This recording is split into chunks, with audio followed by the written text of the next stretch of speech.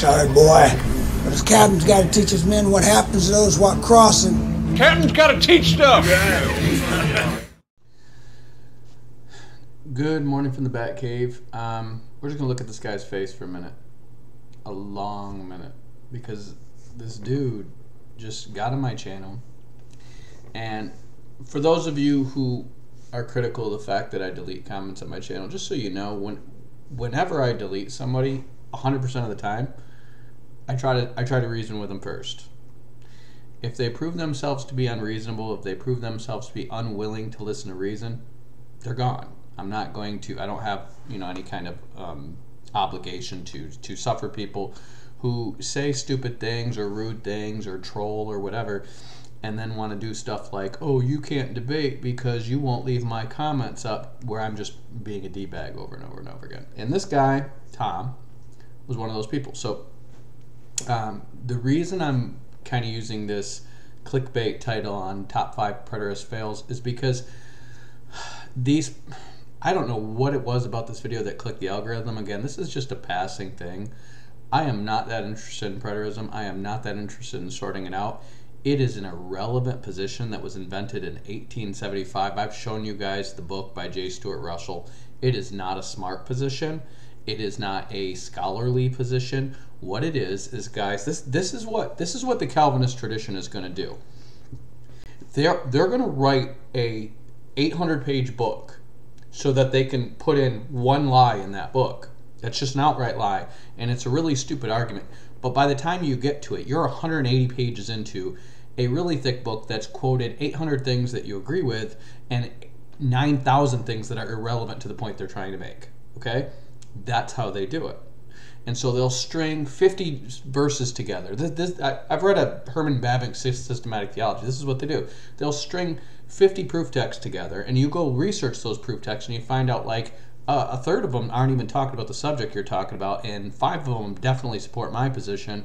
And you just string them together and throw them at you, and that's what they do. They want to bury you in information so that um, you, you, you ignore your own common sense. You read the Bible and then you let them gaslight you into thinking it means the opposite of what it says okay? And this is what the, this guy's going to do here. So he actually he sent this video to me okay? Basically said i'm ignorant of the greek and i need to educate myself by his video. So we're going to go through his video and just show you some things in it that are very stupid. Now the things that he's going to say in this video that i agree with they're all accusations of things that pre-trib dispensationalists do okay Pre-trib dispensationalists engage in date setting. They say the fig tree relates to Israel. They're going to say a bunch of stuff in here that he's going to call as, as false, and I agree with him on. Okay. Here's the problem. I'm not a dispy. Okay. I wrote my Revelation book to tell you guys everybody is getting forced into these two stupid ideas. One is amillennial preterism and the other is dispensationalism, and they're both stupid ideas. And then the one that's emerging in the middle, uh, pre wrath, is dangerous. So I wrote my book to show you my position, which is mid trib futurism, which is the original position of the oldest writers on the church, the oldest commenters on Daniel, the oldest commenters on Matthew 24, the oldest commenters on the book of Revelation. Okay? Now, I've gone over this in uh, numerous videos, and I have a whole playlist on mid trib proofs and eschatology and stuff like that. And if you guys gonna want to go watch that, watch it, okay? My videos are not here for you guys to get like a one proof text or a one liner to throw at these people, okay? These people are never going to be satisfied with a one liner because what what they do is they spend a hundred years proving trying to disprove the 800 arguments that prove their position false and they'll never stop they'll never stop working at it okay they literally can ha- butt up against 50,000 verses that say the opposite of what they're saying, and they're just going to come up with arguments. And if they got to go to the original Greek, or if they have to go to Judaism, or they have to go to the Old Testament, or they have to go to church history, they're going to go wherever they need to go to find the argument that makes negates the meaning of that passage and that's what this guy's going to do here okay? So i'm going to walk through his video with you and again i'm not going to watch the whole thing with you. I'm just going to point the, the key points of what he says to show you that this guy is just his real reason for not liking the futurist position is because he got scared of the uh, the um, movie um, Thief of the Night as a kid, And so, based on that, and then based on the false predictions of dispensationalists, he's going to fall into the preterist camp. And he's going to put himself out here as a Greek expert. But when he got, got on my channel to try to correct me, he actually like completely misquoted. He, he used the Greek words for um, these things and said that's this generation. And when I called him on it, I said, "Is that deliberate deception, or are you uh, just did you make a mistake?" And he just like quickly like brushed off the fact he, he did admit making a mistake but then just ignored the fact that he made it and just kept going on and on about how ignorant i am. And i'm like uh, you just quoted you like you're you're claiming to be an expert in greek. I'm claiming no expertise in greek. And you just mistook the words these things for this generation and then copied it and pasted it into my thing.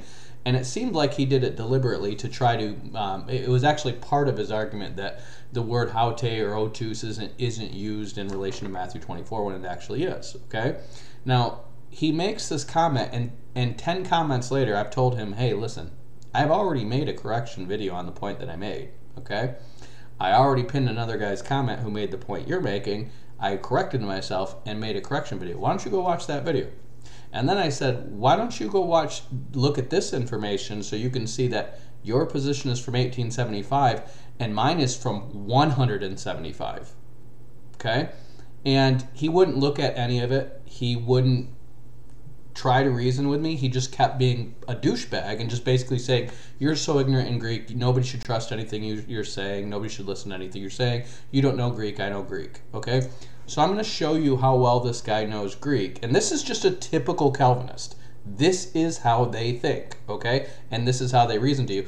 I've met hundreds of them. They're they they they come off as being really smart because they're going to tell you a bunch of irrelevant information that has nothing to do with the point okay? That's what they do is they drown you in irrelevant information so you miss the part where they're deceiving you from common sense information okay? And so this guy is literally bringing up over and over again that that's the subject and the object and the feminine and the masculine and i'm just like what does that have to do with the point i'm making the point that I'm making is about the context of usage and the preponderance of usage, and I show my source material and I show my rationale. By the end of this, he's saying ChatGPT doesn't know anything about ancient Greek and that uh, it only uses modern Greek, which is an absolute falsehood. You literally, it's trained on just tons and tons of Greek manuscripts that are free on the internet, and that's why it gets to train on them, okay? It's not training on modern Greek, it's training on ancient Greek. It's training on all the classics that have been interpreted in all the languages because they're so classical, and that's what it's training on. So it knows the ancient Greek really well, okay? Um, so so this guy is like your like your typical preterist. What they're going to do is they're going to point you to stuff like the blood moons, John Hagee's blood moons, and say this is what all futurists believe and then they're going to try to pull you into preterism okay?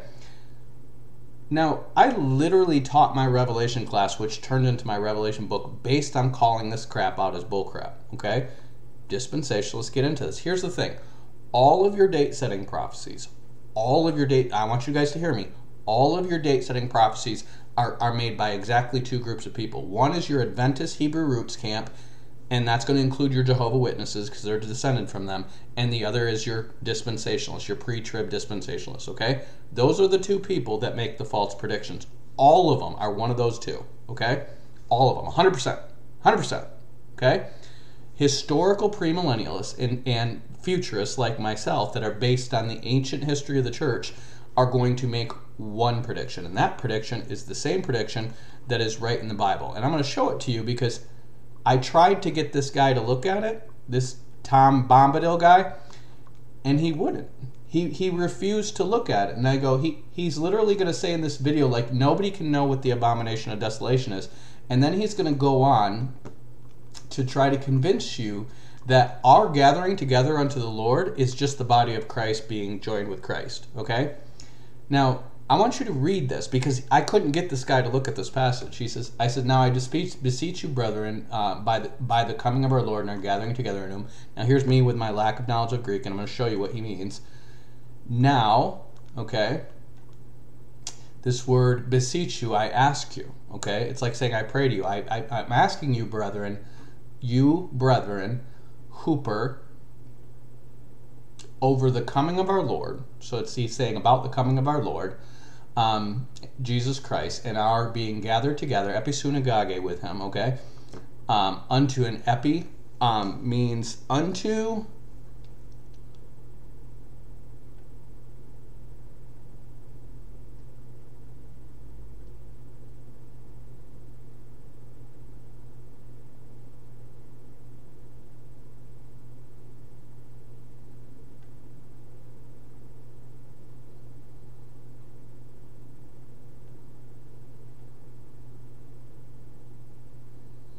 It means like gathered upon him, okay? So you were literally going to go to his person, okay? If you go watch my video on paralambano, it's going to be in my um, mid tribulation proofs. It literally means to be brought alongside of him, okay? So gathered upon him, um, that you be not soon shaken in mind or troubled, neither by a spirit nor by a word, as from us, that the day of the Lord is at hand. See, the day of Christ is at hand. He's going to tell you it's already passed, okay? And he's going to say, Let no man deceive you by any means, for that day shall not come unless there come a falling away first, and that the man of sin be revealed, the son of perdition, who sits and opposes himself above all that is called God or that is worshipped, so that he sits in the temple of God, showing himself that he is God. Okay? See, you don't need a fancy chart for that. You don't need anything but just reading.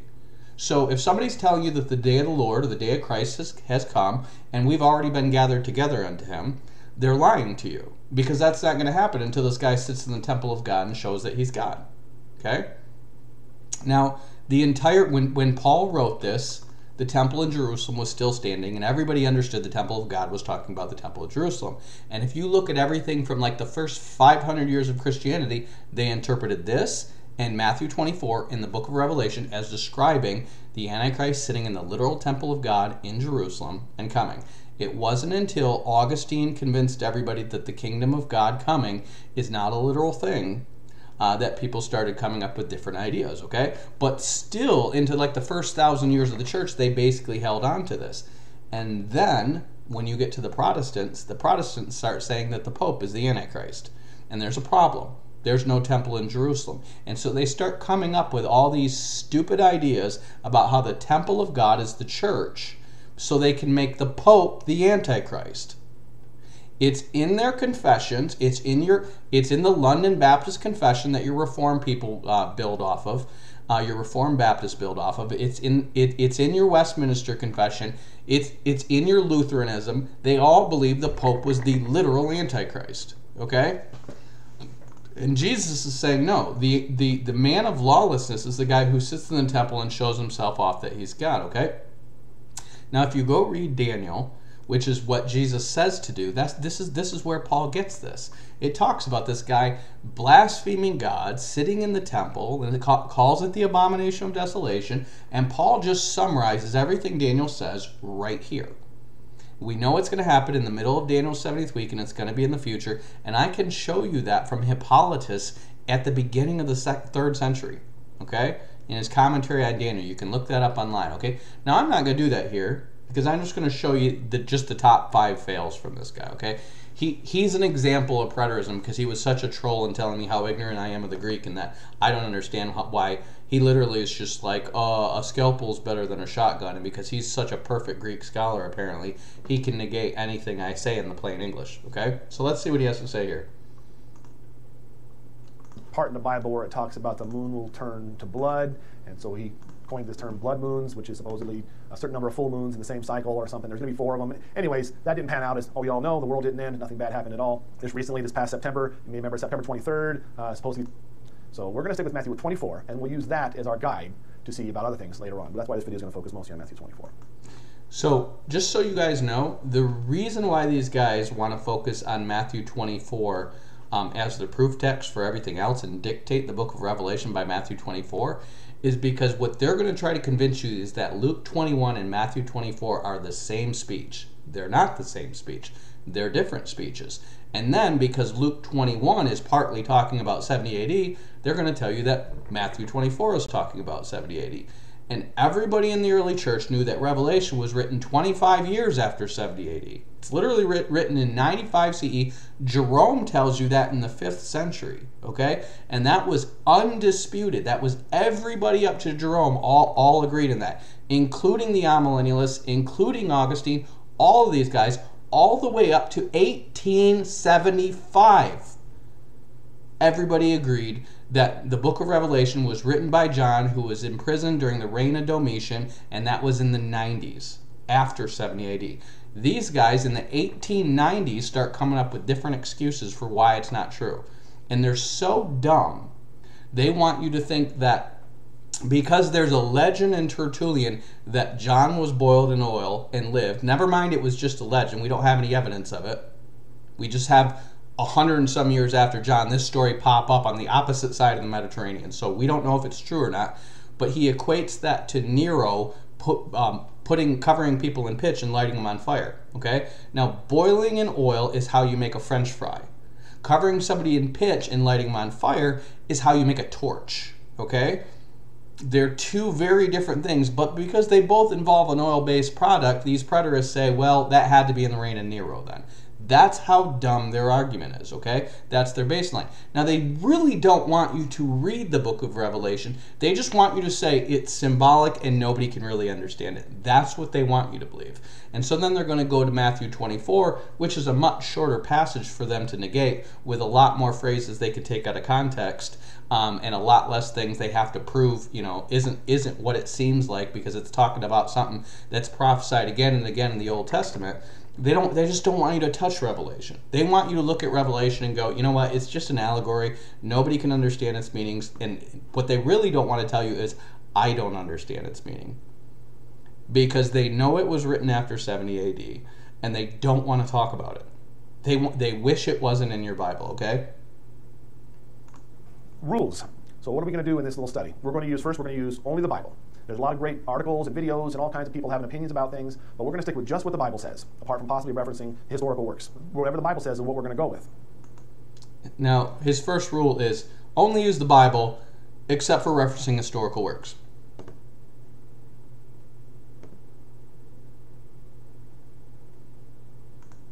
Bible says, apart from possibly referencing historical works. Whatever the Bible says is what we're going to go with. We're going to a, use a methodology called let Scripture interpret Scripture, if you've ever heard that. And what that means is if you read a Scripture and you don't understand it, we're going to look for other places in the Bible that that phrase or word has been used and try to understand if that helps us shed any more light on what it's talking about. If, Okay, then he's going to say we're only going to use scripture with scripture. And here's what he's going to do, and this is what preterists tend to do. They're going to use it, take a similar or equivalent phrase from an entirely different context and then use that context to dictate the context of what they're saying rather than just reading the, the, the context and using common sense, okay? So he's telling you he's only going to have you interpret scripture with scripture, but what he really is going to do is lead you away from just reading the passage in context and processing it to these other passages that are talking about something totally different, and then say, well, he's using the same words here as he's using here. Therefore, that context dictates the context in this passage. That is not true. That's called eisegesis, okay? He's going to take passages that are talking about this present generation and he's going to say, well, that's talking about that. Then he's going to take passages about people being gathered together in the body of Christ and say, well, that's what he's talking about when he sends out his angels to gather his elect from the four winds of heaven. And Paul is going to flat out tell you, no, that's the literal rapture. That's us who are alive being caught up to meet Christ in the crowds after those who are dead are raised, okay? He's going to deny this. This guy is a full blown heretic. And I want, want you guys to hear this. When you deal with these people, don't let them shame you into maintaining conversation with them. You show them their error as simply as possible. You give them one warning, and if they won't listen, you're done with them. Now, this guy, I gave like seven warnings. I literally pointed him to another video like four times and said, Watch this. I clarify what I said. I literally admitted the mistake I made over and over and over again. And all he kept saying was, You're just so ignorant that nobody should listen to anything you say.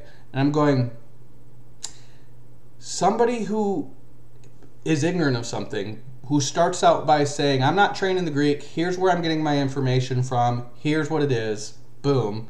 And then you criticize it and somebody says, You made a mistake. And that person goes, hmm, Maybe you're right, and goes and, you know, tweaks what they're saying. That's called somebody who's teachable. People like this are not teachable. See, you give them new information and they're going to look for a reason to reject it. They give you new information, you're going to look for a reason to consider it. And see, they just don't want to do that. See, their whole point is to find a flaw in you so they can negate everything you say. So we want to play that game, we're going to play that game, okay? If we're in doubt on a word, we're not going to use English words dictionaries. We're going to use Greek dictionaries. And that's because the original New Testament manuscripts, manuscripts are 100% written in Greek. This is a picture of how it actually looks. You may note that there's, uh, there's no chapter breaks in passages like this. There's no footnotes. See, what he's going to do is he's going to say, We're going to go to Greek manuscripts so that I can take you into information that you probably don't know about and then try to deceive you into thinking this word must always mean this, it always means this in every tense. Until you get to something like this generation, then he's going to say, no matter what the Greek tense is, no matter what the Greek words he uses, no matter what the context of the passages, this generation must always mean what I want it to mean. And when Jesus says, Verily I say unto you, it must always mean the present generation as well. Okay? Which basically throws out all the Gospels as being irrelevant to us. Okay? Wait, wait for this. There's not even spaces in between words, which is really amazing. And also, we're going to practice audience relevance. Audience relevance is who the scripture was written to and putting yourself in their shoes, what's going on in their lives, who was written to, where it was written, when it was written, why it was written. All those are immensely important in understanding. Okay, then when he gets to audience relevance, he's going to try to tell you it's the present tense audience that he's talking to. The scripture is not written to you. Okay? Let me tell you how, what a bad doctrine this is. Okay? Jesus says to his apostles that those who believe in him through their words have eternal life. Okay? those words need to go to us. And I'm going to show you numerous times where Jesus says something to the apostles that looks like he's talking to them and just them, but it's really for us too. Because the apostles didn't write down what Jesus said to them to have private meaning for just them. If they were doing that, they would say, He said this to Peter, or He said this to John, or He was talking about Judas right here. Okay? Everything else is to all of us. Literally everything else. Unless, like, he's telling you, the audience, he's saying this to these Pharisees right here. If he's just saying you or you all, he's talking to all of his disciples for all time, okay? Almost nothing that he's saying is just for the disciples of that era. And this guy wants to deceive you into thinking that all these things that Jesus says are just for the disciples of that era that is a falsehood. Okay? That is an absolute falsehood. And if you take what he says to its fullest logical extent, then none of the Gospels are for you. Okay? What actually is going on. We can't just take a section of Scripture and say it's talking about today it has a context of ancient times. So, again, if a passage of Scripture is talking about stuff that happens around Jesus' second coming, guess what? It's about Jesus' second coming. It's not about 70 AD unless Jesus came in 70 AD, he appeared in the clouds. Every eye saw him. He came in a flash of lightning. The sun and the moon were darkened. And then he sent out his angels, resurrected the dead, and raptured them all into heaven in 70 AD. Well, that's just for them. Okay? But we know he didn't. Not only do we know we, he didn't, we have hundreds of years of church writings that tell you he didn't. We don't have anybody claiming that he did until these preterists in the late 19th century. That's when they invented this, okay? Most of all, you're going to have to have an open mind. This is probably going to fly in the face of what a lot of you have been taught your whole life. This is I, I came up with the standard view that there's going to be a seven-year period of tribulation coming, terrible time. Okay, he didn't come up with the standard view that there's going to be a seven-year tribulation. Okay, that view is as old as the apostles. That's why you can find it in the second century. It's a very old view. Okay, all you need to do is you need to do the math on Daniel's 70th weeks and go, how many of those 70 weeks can you possibly fit before Christ's coming? Because he says there's going to be 69 weeks and then Messiah is going to be cut off. That's what he says. He says after 69 weeks, Messiah is going to be cut off. Well, where do you put that 70th week? Okay? And that 70th week, you've only ever had two, two possible interpretations. Some people put that 70th week in 70 AD, and other people put that 70th week in the distant future. The only people in the ancient past who put that 70th week in 70 AD are Clement and Tertullian. That's it. That's it. They both use totally different math as their starting point. They both have a totally different point of time when Jesus when when that 69th week comes and when it reaches Jesus' birth and all these things. They have totally different history to try to wedge it in. And then they both somehow magically get that 70th week to go to 70 AD while negating the fact that Jesus needs to be cut off after the 69th week and then the 70th week has to be when the rest of these things are fulfilled in Daniel, okay? The earliest commentary on Daniel puts that 70th week in the future. This isn't something he figured out. This isn't something the Dispes figured out. The Dispes got this from uh, Edward Irving, who got it from Emmanuel Lacunza, who got it from the ancient church fathers. Okay, I've read all these manuscripts. Okay, it's not a mystery where it came from. The Darbyists didn't invent this, the dispensationalists didn't invent this, but this guy doesn't read church history, and when you put the writings right in front of him, he'll look away. Okay? So this is what's called an unteachable person. He's going to tell you all he knows about the Greek, and he's going to butcher that too. Times coming in, times the end of the world, Armageddon, all that stuff. Um, and what I'm going to teach you here today, or show you in the Bible, what the Bible's going to teach, is may fly in the face of what you know. So you're going to have to unlearn what you have learned. And take a, a note from Master. What, what he's what he's really preparing you to do. What he's really preparing you to do is forget what you see when you read with your own eyes, and listen to what I'm going to tell you. Okay? Yoda. You must unlearn what you have learned. So You must about talk what everybody's ever told backwards like about the end Yoda. times, forget about the end of the world, or what you think you know about Jesus' second coming, coming back. And let's just look at what the Bible says about those things and see if we can draw conclusions based on that. A lot of people just take one verse out of the Bible and they will fit it to their needs without looking again the context of who, what, when, why, all that sort of a thing. Uh, but the context is immensely important. For instance, without context, the Bible says in Hosea 1 2 to go marry a prostitute and have children with her. So, and it does say that. You can go look it up. But the context of that verse is that that's what God told a prophet to do to teach a lesson to to the Israelites of the day and how they were being unfaithful, and He wanted to you know, have a picture story with them. So it's not condoning that we should do that again. So, but if you take that verse out of its context, that's what that means. So that's why the context makes a big deal. Matthew 24 is very sequential. It says this is going to happen, then this is going to happen, then this has happened, this is going to happen right through all through the chapter. So we're going to use that as our context as to what's going on. To begin with, the setting of Matthew 24. Jesus wasn't in Jerusalem through most of his ministry. He starts off uh, after he starts his ministry, he goes out to the surrounding towns and villages. He goes to the towns of Samaritans. He goes back and forth to other places. And in starting in chapter 16, he starts telling the disciples that they're going to uh, he's going to have to go to Jerusalem and they're going to kill him and all that sort of a thing. We get into chapter 20, it says in verse 17, now as Jesus was going up to Jerusalem, he took the 12 disciples and said to them, et cetera, et cetera. And then we have a bunch more parables. But you can see what happens between chapter 20 and uh, to 21 is uh, them traveling uh, to Jerusalem. He gets to Jerusalem in chapter 21, and you may have heard the story. It's called the triumphal entry, where he gets to Jerusalem and he's riding on the donkey, and they say, Hosanna to the Son of David, and they put down the palm fronds, and they're, they're just uh, praising him, and, uh, and they're welcoming him as a great king. Uh, the funny thing to think about is where does he go on that donkey? A lot of people know uh, the triumphal entry story about him riding in, on- into Jerusalem on a donkey and being praised, but he goes somewhere on that donkey, and that's important. That's the first thing he does. He, he- right when he gets to Jerusalem, he makes a beeline for a certain spot. So let's look and see what it says. And then it says in verse 10 When Jesus entered Jerusalem, the whole city was stirred and asked, Who is this? The crowds answered, This is Jesus, the prophet from Nazareth in the Galilee. And then it says in verse 12 Jesus entered the temple area and drove out who were buying and selling there. He overturned the tables of the money changers and the, and the benches of those who were selling doves. So where does he go? Where does he do? And he's get all this acclaim in this section right here. He, he insults them over and over again. Uh, see me until you say, Blessed is he who comes in the name of the Lord. So that's the context.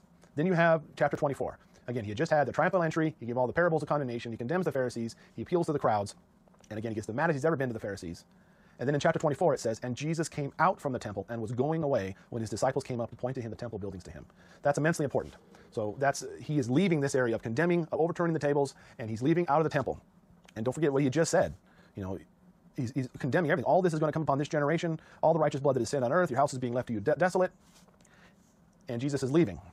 Jesus left the temple and was walking away when his disciples came up to him to call his attention to its buildings. Do you see all these things? He said. I tell you the truth. Not one stone here will be left upon another. Every one will be thrown down. So is history on Jesus' side here? And actually, yes. Uh, Josephus records that when Jerusalem was, when the temple was burned uh, by the Romans and Prince Titus in 70 AD, uh, the gold that was in the temple, the whole thing was covered in gold. It actually melted into the cracks of the foundation, and the Romans pried up the, the foundation stones to get to the gold. Actually, the stones that fell to the street below, uh, they, they crushed the street when they fell. So that's, that's the, the foundation for the beginning of Matthew 24. He says every one of these things is going to be thrown down. Uh, Verse 3, as Jesus was sitting on the Mount of Olives. So the Mount of Olives is right across from the temple. So they went from leaving the temple, he says, every one of these stones are going to be thrown down. And it says in verse 3, as Jesus was sitting on the Mount of Olives, the disciples came to him privately and said, Tell us, they said, when will this happen, and what will be the sign of your coming and of the end of the age? They associated when this happened uh, to be his coming and the end of their age, which age is just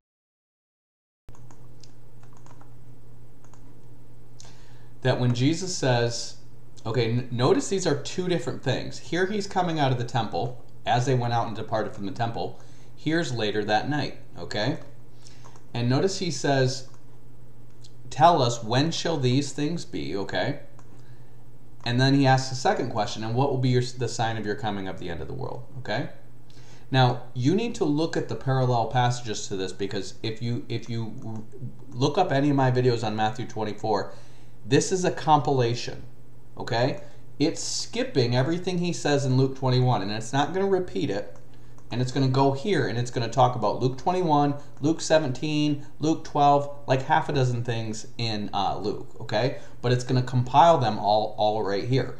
All of Matthew is stylistically like that. That's why when you get to Luke, where he says, um, it seemed to me, having had a perfect understanding of all these things from the very, very first, to write to thee in order most excellent Theophilus. See, he is telling you that he is going to write things cathexis, okay? Cathexis. Cathexis is consecutively. That's what he means. I'm going to write to you consecutively. In other words, he's going to give you a strict consecutive order when these things happen. Matthew is not a strict consecutive order. The early church knew it wasn't in strict consecutive order, and that's what Luke's telling you. It's a collection of the things that are commonly believed about Jesus, okay? And that's why when you get to Mark, Mark is Peter's recita- recitation of a proto Matthew. And so when you get to Mark 13, his is going to be even shorter than Matthew 24 because he's going to tell him about the stones of the building and them being thrown down. And then as he sat on the mountain of Olives, see how it sounds just like Matthew? Um, when will the sign of these things be fulfilled? Okay. Now notice he said, when will these th- things be, and when will be the sign when all these things shall be be fulfilled? Notice that says something totally different than what Matthew says. Okay. So that's a different conversation. And then when you get to Matthew 24, which is the most complete version of it, there are multiple questions. So he's telling you these are the two questions he asked him. Now notice how Mark just asks, when are these things going to be fulfilled? And he's just talking about the destruction of the temple. Notice we're going to get show you show you the same thing in Luke 21. Luke 21, he's going to talk about the destruction of the temple and they're just going to say, when will these things be? Okay, notice they only say, when will these things be? But in Matthew 24, this is a longer conversation that they're compiling here. So in Matthew 24, they're going to start out the conversation by telling you the two questions they asked. The one is going to be, when will these things be? That's in Mark 13 and that's in Luke 21. And then this other one, what shall be the sign of your coming and the end of the world? That's something different, okay? Whether you use end of the world or end of the age, it's no different, okay? The point is, is there are two different things they're asking about. One is the destruction of the temple, and one is 70 AD. Now, my Matthew 24 book go or my Matthew 24 videos go into this in excruciating detail, okay? But what they're talking about is things that are going to happen immediately and continually, and then things that are going to be at the end. And that's why he says things like, but the end is not yet. Okay? But he's going to then talk about other things and say, this gospel will be preached throughout the world as a witness to all the eight nations, and then the end will come. So notice he's asking, when's the sign of your coming and the end of the age? Okay? So all this stuff right here could apply to 70 AD, and he says similar things in Luke 21. There are two different discourses, but he says similar things. But when he starts saying, then the end shall come, this is something different. And he's going to talk about the abomination of desolation spoken by Daniel. Now, that's what Paul talks about, okay? Now, this guy's going to say, nobody can really know what the abomination of desolation is. Yeah, we can. He just tells you to go and go to Daniel and read it, and he says, and let the reader understand. Okay? Some translations will say, go to Daniel and read, and then you'll understand. Okay? And that's what Paul does to get us Second Thessalonians 2. This guy is going to be willfully ignorant of that. I have tried to put it in front of him, and he doesn't want to look at it. Okay? He says, I just determined what Matthew 24 says by Luke 21. Well, that's not what Jesus says to do. Now, he's going to run you around all throughout the Bible, but you know where he's not going to take you to? He's not going to take you right to where Jesus tells you to go, which is Daniel. Jesus tells you to go to Daniel. When he says, Whoso reads, let him understand, he's telling you to go read Daniel. You know where this guy's not going to go? He's going to go everywhere in the Bible but Daniel and Second Thessalonians, which is interpreting Daniel. Okay? So this guy's smarter than Jesus, apparently, because Jesus says, when you go to Daniel, you'll understand what the abomination of desolation is. This guy says, I'm not going to bother to go to Daniel, and who can possibly know what the abomination of desolation is? You know what that sounds like? it sounds like somebody who says, Where's the sign of his coming? Because ever since the world has gone on, it's always been like this, and people are always doing the same thing, and it's always the same thing. Okay? That's what people like this do. They don't listen to Jesus and do what he said to do, and then they're going to give you their own theories. And watch him go everywhere but Daniel, okay? So is this talking about the end of the world here? If you have a King James Bible, you notice it says the end of the world. But that word there—that that is age is aeon, and that word should never be translated as world. That's an incorrect translation. Aeon is where we get the word eon, uh, or just a, a space of time. Another thing you want to think about as we're going through this is who is Jesus talking to now? He's sitting on the Mount of Olives. His disciples come up and they ask him, what will be the, when will these things happen, and what will be the sign of your coming and the end of the age? And you know, verse 4 it says, Jesus answered, Watch out that no one deceives you. And that's the beginning of the audience relevance in this passage. No one deceives you. Who's you? He's talking to his disciples. He's talking to the disciples. It's them, you, not you, you. You have Jesus. Now, you know how I know that that's not just for the disciples? First of all, none of the disciples were in Jerusalem in 70 AD. Second of all, Paul's going to say the exact same thing to the Thessalonians. This is a summary of what Jesus said on Matthew 24. Notice he says, Don't let anyone deceive you by letter as from us, as if uh, Christ has come, or the, the, the day of the Lord has come, and are gathering unto, uh, together unto him. Don't let anyone deceive you unless there's a falling away and the man of sin is revealed. He's describing the abomination of desolation. This guy doesn't want to read that passage. He wants to remain willfully ignorant of that passage and give you his own theory. So let's see what his theory is. Jesus using the second person plural, you, over and over again. You will hear wars, rumor of wars, may come in your name. See that you are not.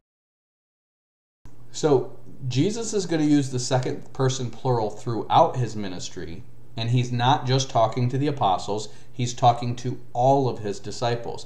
And everything that he says to the apostles that they're writing down is meant to be communicated to all the disciples. Audience relevance doesn't matter unless he's specifying a specific audience that he's talking to. And yes, he's saying it to the apostles, but when he says, when you see, either those apostles have to literally see those things, which none of them did, or he's talking in general, okay? Now, I'm going to give you a big, huge hint here. When Jesus says, let the reader understand, that's a big, fat hint. This is not just for the apostles. Otherwise, they wouldn't bother to say, let the reader understand, okay? They would just say, oh, here's what he meant, but it's just for us. He's not going to give you an instruction to go read Daniel if it's just for the apostles. Common sense. Not deceived. Then you will be handed, persecuted, put to death, and you will be hated by all nations because me. You get down to verse 34. Verse 34 is going to be an important part of this. So, verse 30. So notice how he just skips. He skips to things. I, I want to show you where he's skipping, what he's skipping. It's going to be all the most important part of this, the meat and potatoes. He's going to say, he's going to say, and you will be hated for all namesake. And then he's going to be like, you know what? Forget the rest of this. Let's just go right to 34 so I can get you to eisegete this generation. Okay? When I put out a video and say that these guys hyper focus on you thinking about this generation as if it can only mean the present tense generation, here's a perfect example. When somebody skips 25 verses to get you to jump to this generation from uh, you'll be hated by all nations for my namesake. Well, there's something that could apply to just the apostles. And again, like I told you, everything up to but then the end shall come could apply to all the apostles, except when he says, and he that shall endure to the end, the same shall be saved. Okay, this is talking about the end. This other stuff can apply to the apostles. That's why he wants you to jump from there to verse 34, which is this generation. Okay? He doesn't want you to see all the stuff that the apostles don't didn't see, okay? Because he wants you to think it's just about them. So let's go back to his foolhardiness.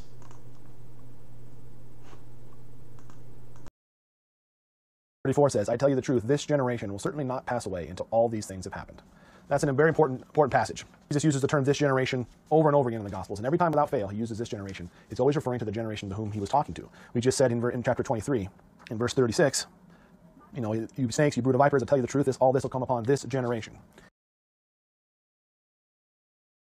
Now, what he's doing is exactly what the guy who invented preterism is doing, okay? He takes you to all these passages that are talking about the present tense generation and says every time, without fail, that Jesus is this generation, he is talking about the present tense generation. And he uses passages that are talking about the present tense- generation as proof that he's talking about this generation in this generation, okay?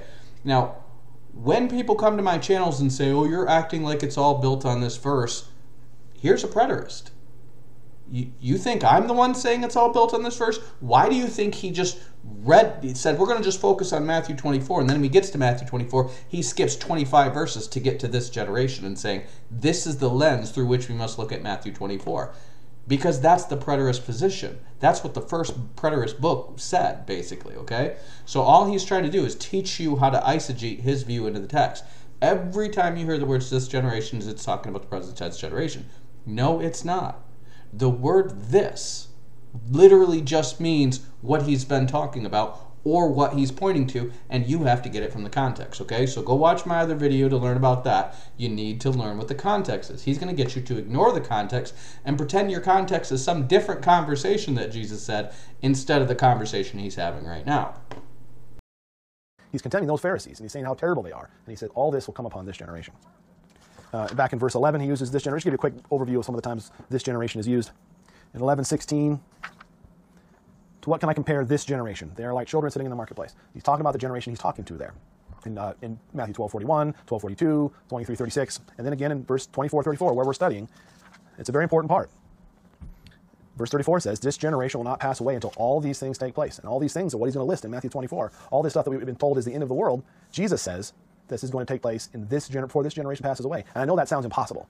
Everybody's been told since the time they were young that the things in Matthew 24 are going to be in our future. It's going to be a president of the world and an antichrist, and all these things are going to happen. And I know it sounds uh, amazing. In fact, it says uh, wars, rumors of wars. We have that stuff now. Earthquakes, famines. We have those things now. Verse 14: The gospel shall be preached in the whole world. It says the sun will be darkened, the moon turned to blood, uh, the Son of Man's going to appear in sky.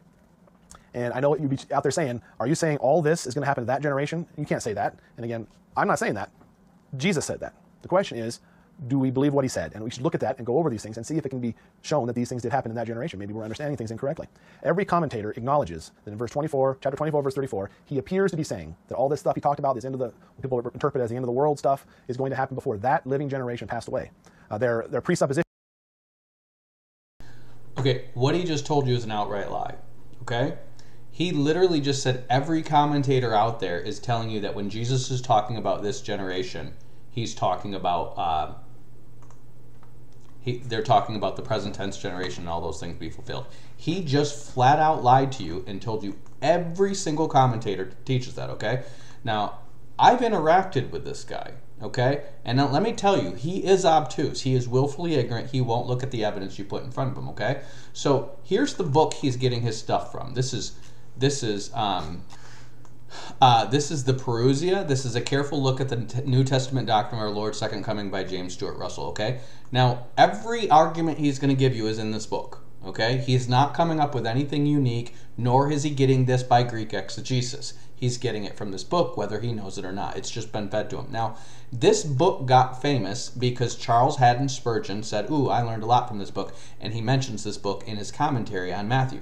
Now, Charles Haddon Spurgeon, what they don't like to tell you, didn't agree with his interpretation of Matthew 24. But because he cited this guy in his commentary on Matthew, well, people say, well, maybe a very famous preacher did agree with him, and so therefore we should read this guy, okay? And based on this one guy alone, they all start changing their views in the 1880s and 1890s, okay? You need to learn church history. This is where his all the commentators start from. Nobody before 1875, okay?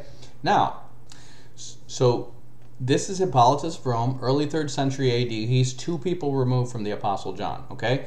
I'm going to show you Irenaeus in a second, but he's two people removed from the Apostle John. He wrote the first commentary on Daniel. He wrote um, commentary on Christ and Antichrist, and he's going to tell you all this stuff that appeals to about Christ and Antichrist. And let me show you how many times he's going to cite Matthew 24 as being in the future.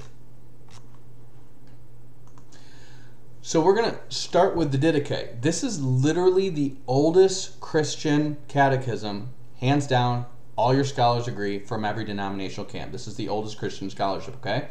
Now notice he's going to say, he's going to have a passage on watchfulness, the coming of the Lord, okay? This is chapter 16. I don't care what versions you say. Listen to what it says. Watch for your life's sake, let not your lamps be quenched, nor your loins be loose, but be ready, for you know not what hour the Lord comes. But as often as you come together, seeking the things that are befitting to your souls, for the whole time of faith will not profit you if you are not made perfect in the last time. For in the last days false prophets and corrupters will be multiplied, and the sheep shall be turned to wolves, and love shall be turned to hate. See, he's citing Matthew 24. For when lawlessness increases, they shall hurt and uh, persecute and betray one another. Then shall appear the world deceiver as the Son of God. Remember how Paul said um, he's going to. Um, this is this was literally written by, while the apostles are still alive. In fact, there's evidence in the early manuscripts of this thing that it was changed after the council in Jerusalem to add the thing about um, forbidding uh, to eating meat sacrificed to idols. That's how old it is. Okay. Notice he says, "And then shall the world deceiver as the appear the world deceiver as the Son of God." That's exactly what Paul says in Second Second Thessalonians who shall do signs and wonders, and the earth shall be delivered in his hands, and he shall do iniquitous things that have never yet come to pass since the beginning. And then the creation of men shall come a trial of fire, and many shall be made to stumble and perish, but they that endure in their faith will be saved from under the curse, it says. So that's Matthew 24 he's quoting, okay? Then shall appear the signs of truth, first an outspreading in heaven, then the sign of the sound of a trumpet, then the third, the resurrection of the dead, yet not of all, but as it is said, the Lord shall come, and all his saints with him, and then the, the world, the world shall see the Lord coming on the clouds with heaven, okay? This was written before 70 AD. This was written before 70 AD. And then Barnabas is going to write a commentary about this after 70 AD to tell the Jews that Jesus told them that the temple was going to be rebuilt by the same people who destroyed it. Okay? So show this to this guy, Tom Bombadil, because he thinks he's really smart and he doesn't want to listen to reason. Okay? That's the Didache. Now you're going to go to Irenaeus. He is one person removed from the Apostle John. Okay? One there's one guy in between him the guy who wrote the book of Revelation. His name is Polycarp. And he, as a youth, lived with Polycarp and was discipled by him. He writes this as an old man, okay? So he knew a guy who knew John for like 30 years, okay? And then he knows that guy for like another 40 years, okay? So he also knows another guy who talked to two of the apostles. And they all say the same thing. Now listen to what this guy says.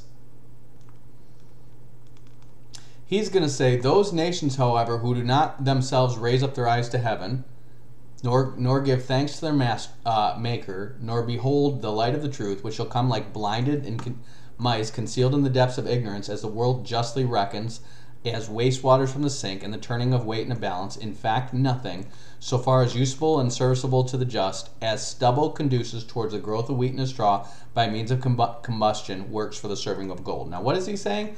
Now, if you know your scriptures well, he is talking about this is in Isaiah and this is in Malachi, how the wicked are basically going to be stubble for the fire, and we're going to dance upon their ashes. Okay? He's literally talking about the end of the world. And then he says, and therefore, when in the end the church shall be suddenly caught up from this, this is literally the word harpazo, the word for rapture, it is said, There shall be a tribulation such as not been at the beginning, neither shall be. That's quoting Matthew 24. For this is the last contest of the righteous in which they overcame are crowned with incorruption.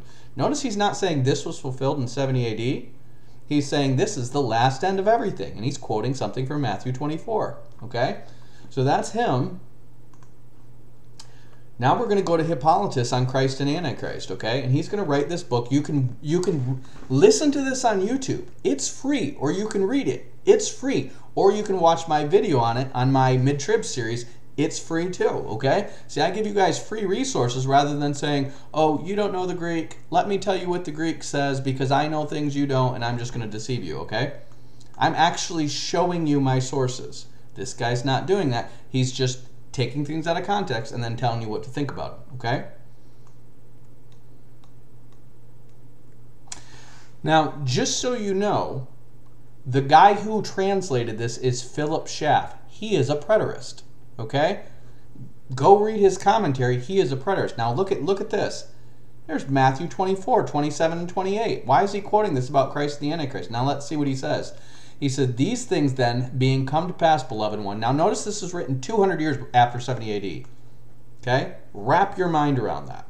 These things then having come to pass, beloved, in the one week being divided into two parts. Now, in his commentary on Daniel, he says the 70th week of Daniel's in the future. And he says, And the abomination of desolation being manifested then, and the two prophets, forerunners of the Lord, having finished their course, and the whole world finally approaching the consummation the whole world approaching the consummation, um, what remains but the coming of the Lord and Savior Jesus Christ from heaven, to, for whom we have looked to hope, who shall bring the conflagration and just judgment upon all who have refused to believe on him.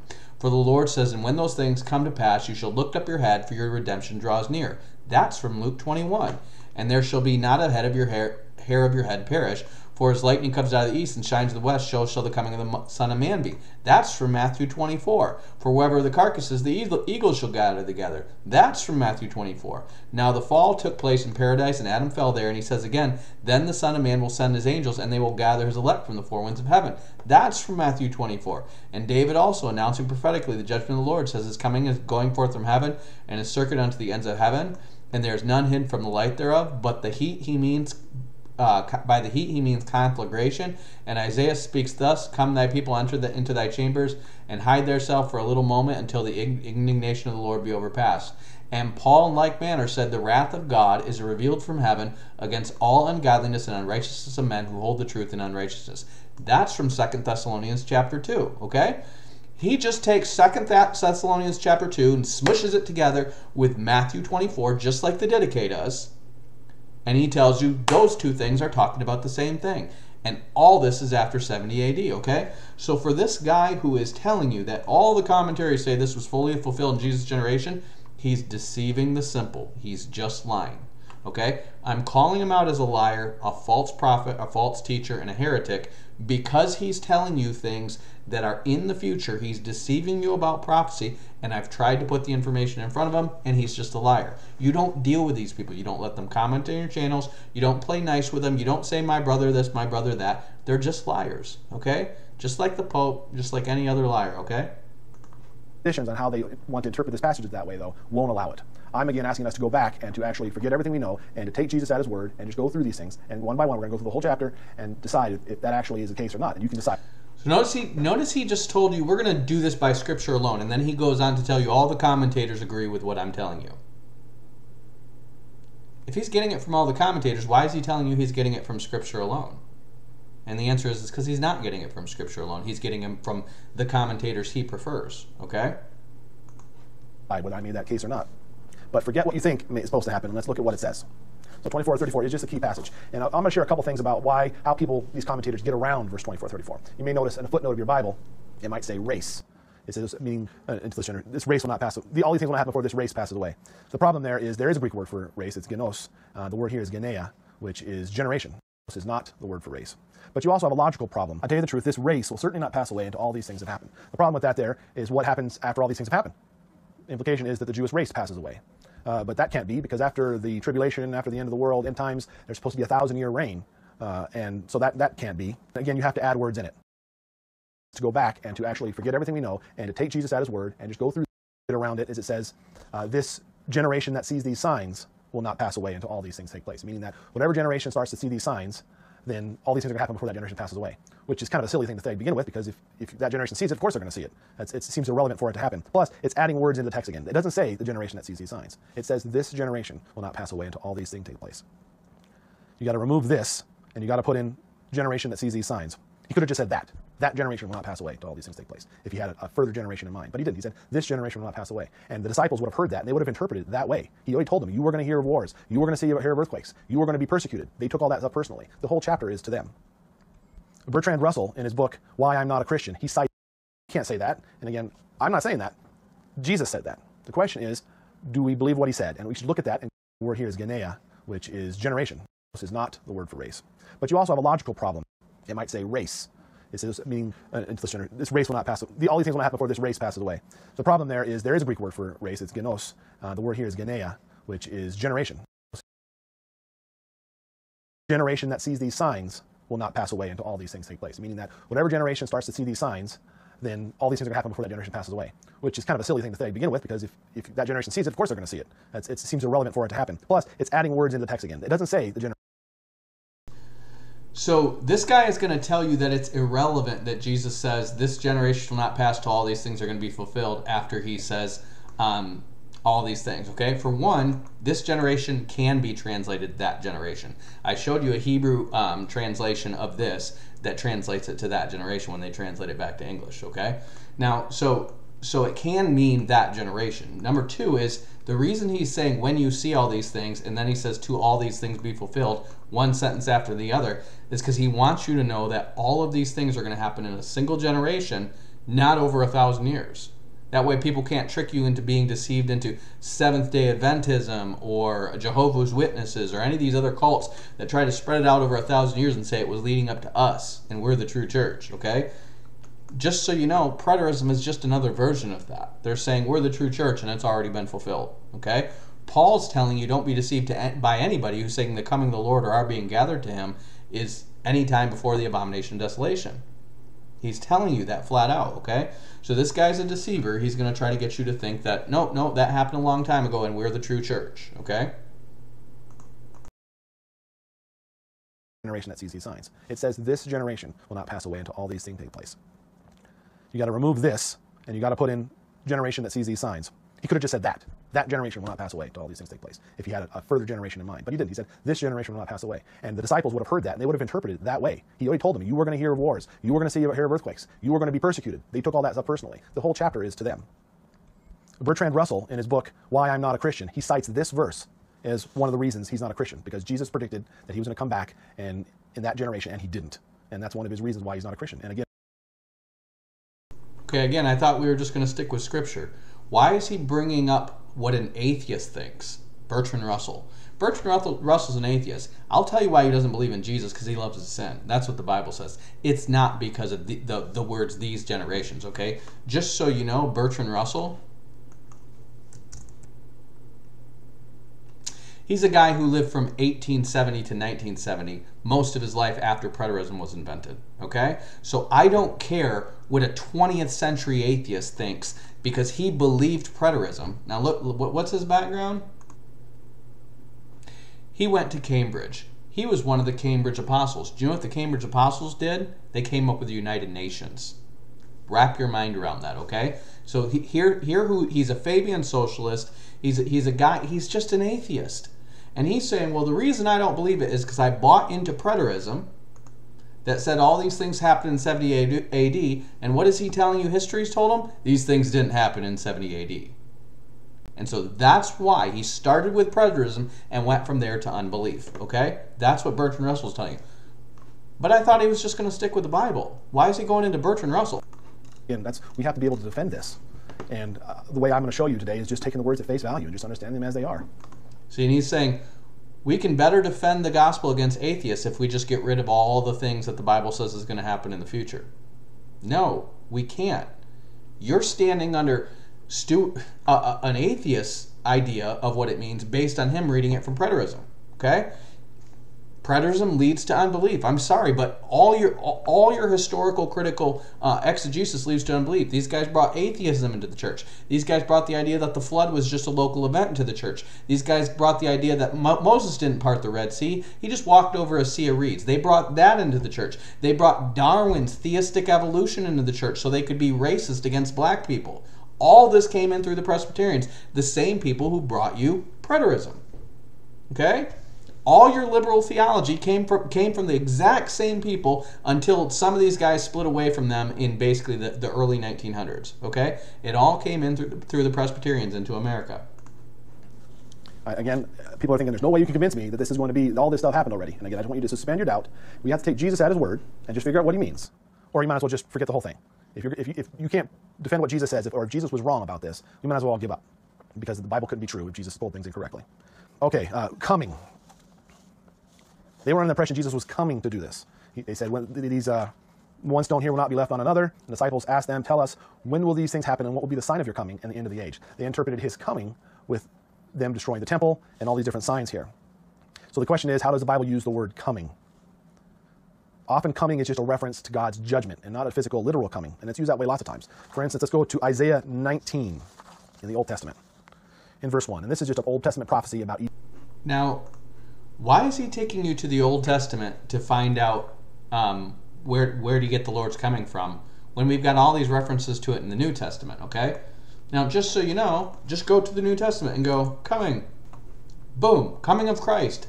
Second Peter, First Thessalonians, First Thessalonians, First Colossians, or Colossians, or First Corinthians. Look at all of these. All of these are about the coming of the Lord. Okay, so that you don't become behind in any gift, waiting for the coming of our Lord Jesus Christ, okay? Even to rejoice at the presence of our Lord at his coming, okay? First Thessalonians, um, that you may establish yourself unblameable in holiness, uh, even to the Father, in the coming of our Lord Jesus Christ. First Thessalonians uh, uh, 5.23, why? It's talking about the rapture. It's talking about Jesus' second coming. Second Thessalonian, he's not going to go here. Brethren, by the coming of our Lord Jesus Christ and our gathering together, don't let anyone deceive you that that day, the day of the Lord's coming, shall not come until the Son of Man, or until the uh, the um, man of perdition comes. Okay? Now, why is he taking you to Isaiah? Because those are prophecies that he can obscure. See, we don't go to the Old Testament to come up with our own interpretation of what they meant. We look through the lens of what the apostles and Jesus told us. That's why he tells you to go to Daniel. That's why he tells you to go to Daniel. Now I'm going to show you this passage he's going to go to in Isaiah, just so you know. This is the burden of Egypt in Isaiah 19. Do you know what it's talking about? Listen to this. The Lord rides on a swift cloud. This is the last day's prophecy. You know how I know? He says, I will set Egyptians against Egyptians, and they shall fight everyone against his brother, and everyone against his neighbor, city against city, and city against kingdom. When did that happen? In ancient times. It didn't. This is going to happen yet in the future. You know how I know it's going to happen in the future? because he says, And the waters shall fail from the sea, and the rivers shall be wasted and dried up. Do you know how many times in history the Nile River's been dried up? This many. This many. This is how many times the Nile River is gonna, has dried up. Do you know when the Nile River is starting to dry up? Right now. Do you know why? Because the Ethiopian Renaissance Dam project is drying up the Nile River, and they're saying it's going to be dried up within a few years. Go read that. Go look up the Ethiopian Renaissance Dam project and realize the longest, most continuous, most unobstructed, most consistent river in the world. Egypt has been a breadbasket for the world because of the Nile River for all these centuries. And now its river's getting dried up. And all the stuff that's happening, civil war in Egypt, while while this stuff is going up, has started with the Arab Spring and it's happening right now. It's never happened in history. Now look where it ends. It ends with, it says, In that day there will be a highway out of Egypt to Assyria, and Assyria shall come to Egypt, and the Egyptians to Assyria, and the Assyrians shall serve with the Egyptians. In that day shall Israel be a third with Egypt and Assyria, and a blessing in the midst of the land. Has that happened? Has Israel joined with Egypt and Assyria that we don't know about sometime in history? No. Whom the Lord of hosts shall bless, blessed be Egypt, my people, and Assyria, the work of my hands, and Israel, my inheritance. When has that occurred?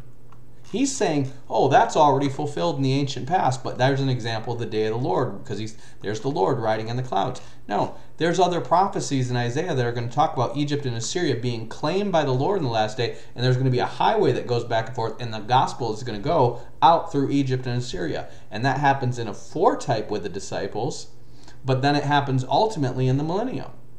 But he's going to tell you neither of those things. He's going to say that happened in the ancient past because the Lord coming on the clouds is just a generic term for the Lord passing judgment. And this prophecy is in the context of Nebuchadnezzar's armies. No, I'm sorry, this is Isaiah, the Assyrian armies coming to attack Egypt, okay? Guess what didn't happen when that when that happened? The Egypt the Nile River didn't dry up. And uh, yeah, Assyria and Babylon didn't join Assyria and Egypt and Israel into one good, happy kingdom under the Lord's dominion. Okay? He's going to just ignorantly corrupt the text to try to make you more stupid. Okay? Being judged. And it says, An oracle concerning Egypt. See, the Lord rides on a swift cloud and is coming to Egypt. The idols of Egypt tremble before him, and the hearts of the Egyptians melt within them. So here you see there, the Lord rides on a swift cloud and is coming to Egypt. And you're going to see that language here in just a minute as well. So we have that God, did God actually come to Egypt? And did the idols actually tremble before him? And the hearts of the Egyptian actually melt? No, it's all symbolic for the judgment that was going to come on them. And I think this is in the same context here. So again, Jesus said the temple would be destroyed. This is what these guys always say. It's all symbolic. It's all symbolic. Symbolic for what? See, this is the question they never answer you. Symbolic for what? Reasons? See, they don't want to say this is symbolic and here's what it symbolizes to all these prophecies they use an example, and here's why. Because they're all literal. They name literal nations, they talk about literal attacks coming from other literal nations, and what the outcome is going to be. Okay? What's that symbolic for? Tell me what Gog. I'm, I'm sitting in a Bible study at my church right now, and they're trying to tell me that the Gog Magog invasion is symbolic. What is it symbolic of? Please tell me what's what's symbolic because Gog and Magog are actual nations that are written in extra biblical literature all over the place, and they say one is in the far east of the north, which is North Korea, and the other one is basically where the Mongol Empire came from. That's Gog and Magog. It's Korea used to be called Goguryeo, and Mongolia used to be called Magog. Okay? That's it. But these guys will say it's symbolic, and you want to ask them this question symbolic for what? And they'll be like, symbolic for nobody can understand this stuff. So that way, when I take you to passages where Jesus told you, let the reader understand, you're like, it's all symbolic, you can't understand. You can call Jesus a liar like I do. He said it would take place before that generation passed away, and it's linked to his coming to do so. Verse 4, let's go back to 20, 24 again. In verse 4, he says, Watch out that no one deceives you. For many will come in my name, claiming, I am the Christ, and will deceive many. So again, the audience there, no one deceives you. He's talking to the disciples. Make sure no one pays attention. Don't, no one deceives you on this, because some are going to try to deceive you on this. Uh, as just as a side note, history does record false prophets and false kings in those days. There's a Simon Bar Giora rose up among the Jews and led a revolt. People called him a king later, and they called him a savior and their guardian, which is interesting. So Jesus says that many people will come in his name saying, I am Christ, I am Christ and deceive many, okay? These guys are going to pull like one example of one guy who claims to be somebody. And we know there were a few of these people running around back then. And he's going to say, oh, all, all of this is going to happen in 70 AD. Tell me, who was the guy that they said was the Messiah in 70 AD? They're not going to tell you because they're going to conflate it with Simon Bar Kokhba, okay? Now, it just so happens that this guy, look, acclaimed by the people as their savior and guardian, Simon was admitted after the collecting of plunder left in the city by John and he attacked the temple. Mm, after the collecting plunder left in the city by John, he attacked the temple.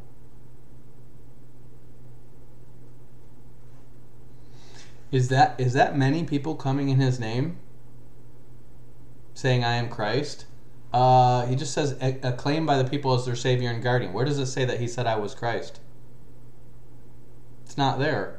These guys are going to take these sparse little examples of guys who do something, and they're going to say, "Oh, there you go, many many antichrists." Well, where were these antichrists? Isn't it clear? How come the early church doesn't tell them, tell us about these guys? Oh, well, Josephus is our authority. Josephus is a Sadducee. He's going to keep citing Josephus. Josephus is a Sadducee, and the Sadducees didn't believe in the resurrection of the dead, and they allegorized everything just like the Greeks do, just like Philo of Alexandria, another Levite Sadducee did, just just like all the Sadducee sect, and just like the early church who, who came up with amillennialism. They get it from Philo of Alexandria, they allegorize everything, and then they deny the resurrection of the dead. That's what Origen did. Okay? That's a heresy, and that's what this guy's doing right here. All these things are supposed to lead up to the destruction of the temple. Again, that's the whole context of the story. When will these things be? When will one stone of the temple not be left upon another? It says, You will be hearing of wars and rumors of wars. See to it that you are not frightened, for those things must take place, but the end is not yet. But that is not yet the end. Uh, people love to talk today about how wars are a sign of the end, but there have always been wars. And what is Jesus actually saying here? He's saying that wars are not a sign. He says, You're going to be hearing of wars and rumors of wars. See, you're not frightened. Those things must take place, but that is not yet the end. See, he's going to tell you that wars are not the end, but then he's going to tell you what the wars the the war in 70 AD is the end. Do you see how weird this is? Were there any other wars in Jerusalem other than the one in 70 AD? No, there's this many. How many wars were there between between Jesus saying this in 70 AD in Jerusalem? This many, this many wars, okay? But Jesus says when you when you hear of wars and rumors of wars, this is not yet the end. Well, he's going to tell you as soon as you see a war, it's the end the Jewish revolt start in 62. The the the, uh, that's when the wars and the rumors of war start there in Egypt, and then the temple's destroyed. That's the end. He's going to tell you that's the end. He's telling you opposite things. Jesus said that's not the end. There's always been wars. Wars themselves are not a sign. He says you're going to see wars and rumors of wars. Don't take any heart. That's not the end. Were there instances of wars between 30 AD and 70 AD? And yes, there were wars throughout the Roman Empire. Rome conquered everybody. They started conquering Britain during that time, and Armenia also, just to name a couple. Josephus writes that Roman civil wars were so common in the empire that there was no need to write about them in any great detail because he thought they were well known. So wars, again, are not a sign of the end. He says they're going to be hearing of wars, but wars themselves are not a sign. Verse 7 For nation will rise against nation, and kingdom against kingdom, and in various places there will be famines and earthquakes. So then that question were there earthquakes between 30, 80 30 when Jesus was there and 80 70 when Jerusalem was destroyed, the temple was destroyed? Josephus is a Roman historian, or not a Roman, well, yeah, he was hired by the Romans, but he was a Jewish historian, and he records the, just the siege of Jerusalem when the, temple was actually destroyed. All those come from him.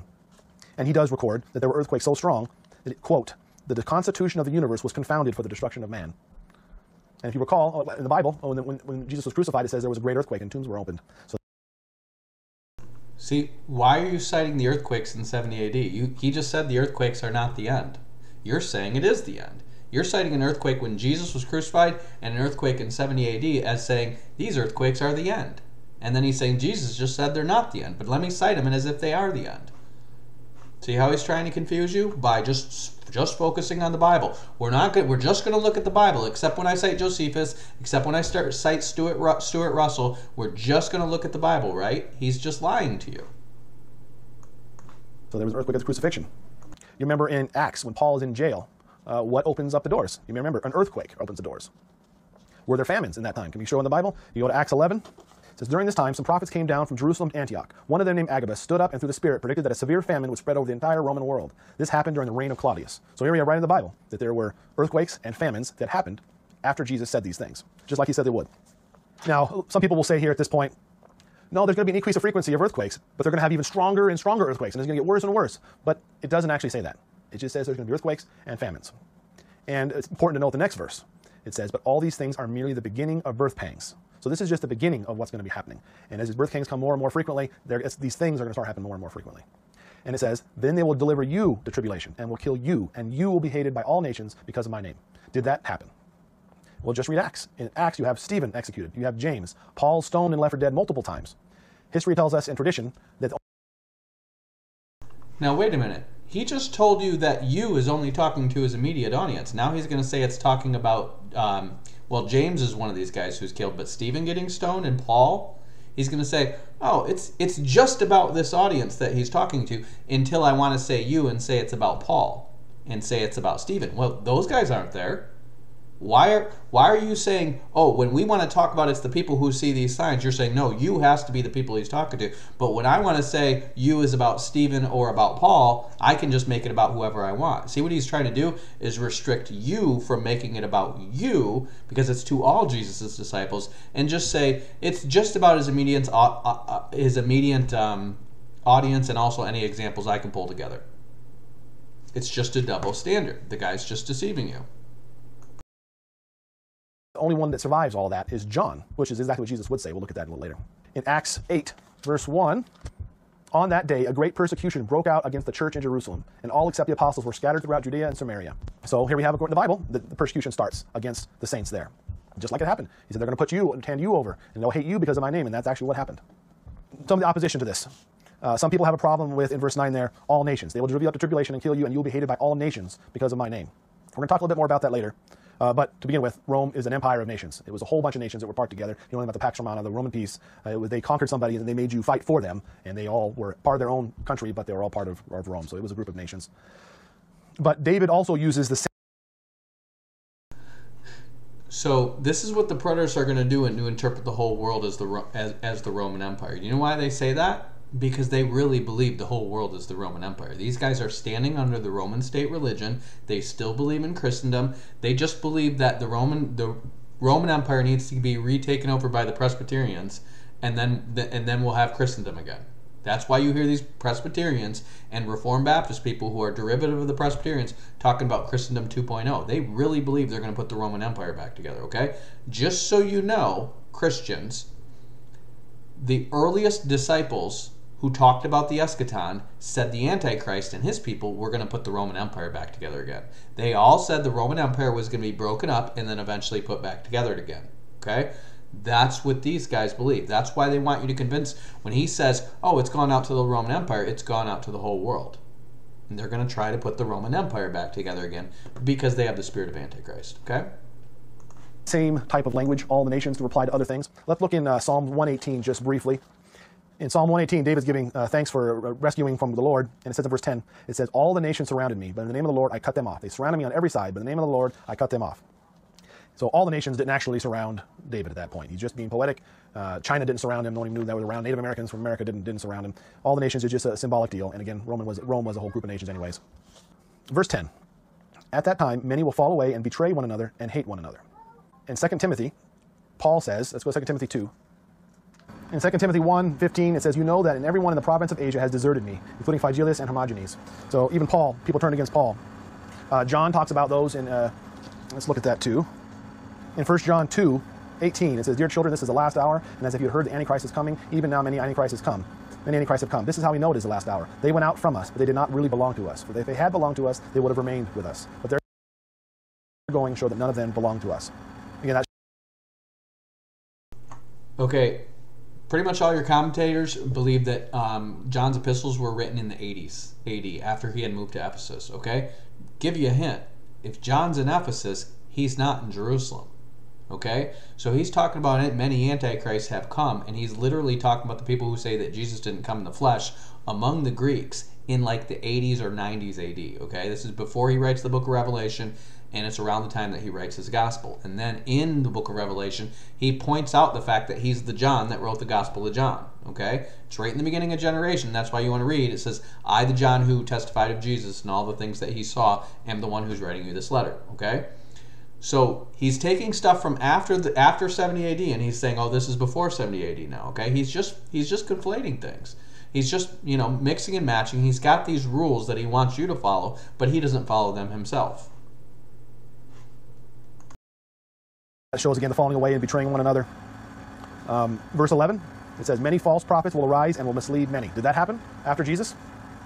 If you go to 1 John 4, verse 1, it says, Dear friends, do not believe every spirit, but test the spirits to say whether they are from God, because many false prophets have gone out into the world. Again, this is 15, 20 years after 70 AD, so why is he bringing this up? I don't know. Go look up any commentator uh, on when First John was written, and they're going to say 70 AD. These, these letters were written so much after 70 AD that some people wondered if they were even not written by the Apostle John, but by the elder of John, Elder John, who's just one of the 70 elders, okay? So he, he's taken stuff that's clearly after 70 AD and say, oh, there go, there's proof that it's fulfilled in 70 AD, okay? Read your church history and find out when these letters were written for yourselves. This guy's just lying to you. He's just stacking up the lies, you guys. So John talks about false prophets being around in that day. Verse 12, because lawlessness has increased, most people's love will grow cold. Again, if you go to 2 Thessalonians, 2 Thessalonians 2 7 says, For the secret power of lawlessness is already at work. So we know that lawlessness was already around in those days as well. Verse 13, but the one who endures to the end, he will be saved. What is he talking about here? They ask the end of the age. Who's the end? The end of the age. It's not the end of everything, it's not the end of the world, but the end of their current time. He's not talking about being saved from hell, but being preserved while you're alive. Whoever endures to the end will be saved. You'll be saved from it. Up to now, you can, people, you can generally see that all the events up to verse 14 are all things that were just common at the time. But with verse 14 and after that, people say, well, this stuff certainly hasn't happened yet. You get the gospel being preached to the whole world, the abomination of desolation, the sun being darkened, stars falling from heaven, great trumpets. People see all those things and they think, there's no way you can hold that Matthew 24 refers to events that happened back in the past before AD 70. They just seem too big to be so. But, again, verse 34 I tell you the truth, this generation will not pass away until all these things have happened away. I tell you the truth. That's a verily, verily uh, in King James. Will certainly not pass away. These are very, very strong, strong things. I, he's saying it that way because it sounds hard to believe to them, I'm sure. But I tell you the truth, they will certainly not pass away this generation. For all these, all of these things, all the things includes the whole chapter one, from chapter one all the way to down verse one, all the way down to 34. Again, we had the wars in Britain and Armenia. There were famines in Acts 11. We had earthquakes in, in Paul's day, freedom from prison. They, they, killed James, persecuted Stephen, Paul stoned multiple times. False prophets were around in those days. But then we get verse 14. Verse 14 says, The gospel of the kingdom shall be preached in the whole world as a testimony to all the nations, then the end will come. People think that, read that, and think, there's no way you can tell me that that actually happened. But believe it or not, the Bible supports that this happened. So let's again, uh, you may have seen some other videos about Greek words. We're going to look briefly at the word for world there. The word there is oikoumene. That word means inhabited earth. To give you some context of how that word actually is, if you don't know, uh, you see it's translated as world here, but that has to do with the translation. The translators of the Bible, they think this is a future event, and so they record things this way. But that word oikoumene, it actually from, it comes from the Greek oikos, which means house and umene. It's, it's, actually the places with houses, the inhabited earth, the place where people live. And to give you an idea, uh, let's look to Luke 2.1 of how that word is used in Scripture. Again, we're using Scripture to interpret Scripture. We're not going to trust necessarily the English definitions here. Let's go to Luke 1, Luke 2. Okay, Luke 2.1. In those days, Caesar Augustus issued a decree that a census should be taken of the entire Roman world. A lot of versions say the inhabited earth, or, but what's interesting there, the word is for world, entire Roman world, is oikoumene again. And again, Rome just taxed itself. That's why inhabited earth is a much better translation. Uh, Caesar didn't tax China or the Native Americans or any of those places. He taxed the Roman Empire. Oikoumene was inhabited earth of their day. And this is the same word used in Matthew 24. Why is it in verse Luke 2.1 they translate it correctly, inhabited earth, but here they put world again. It's the bias of translators again. But the word is oikoumene. There is a word for world. It's cosmos. That refers to the whole world. That's not the word being used world here. There are actually four Greek words that sometimes get translated as world. Again, you can check out my Greek video if you want more information on that. But this is not one of the, this is not cosmos. This is oikoumene or inhabited earth. So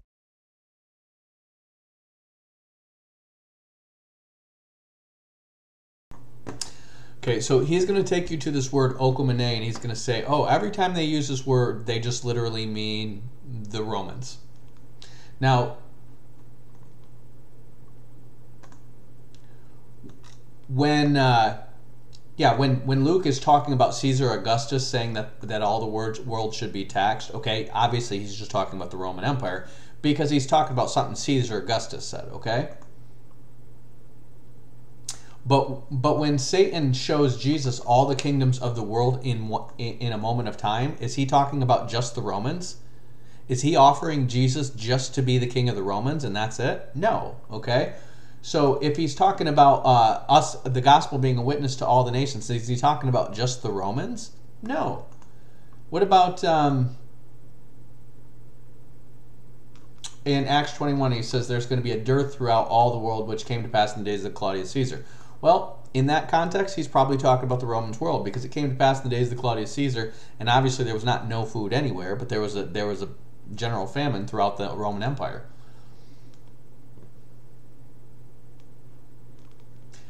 When he's talking about um, these guys have turned the world upside down, um, he's he's talking about obviously their immediate civilization. So there, he's just talking about the Jewish world. Okay.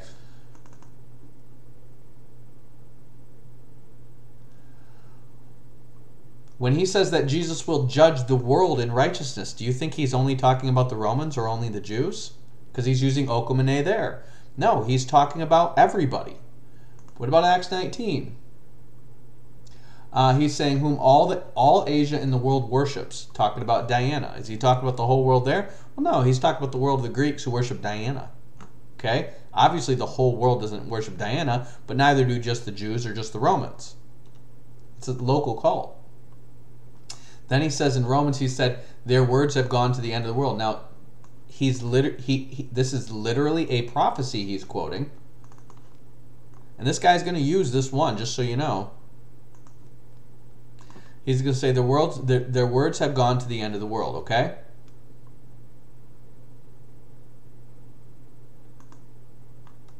Do you know what he's talking about? He's literally talking about the stars. The stars utter speech and their words go to the end of the world. Okay? Is he is he talking about just the Roman world when he says that? No. The stars touch the whole world. The whole world sees the stars, right? He's literally talking about the sun. In them, he has set a tabernacle for the sun. He's talking about the whole whole earth in that tense.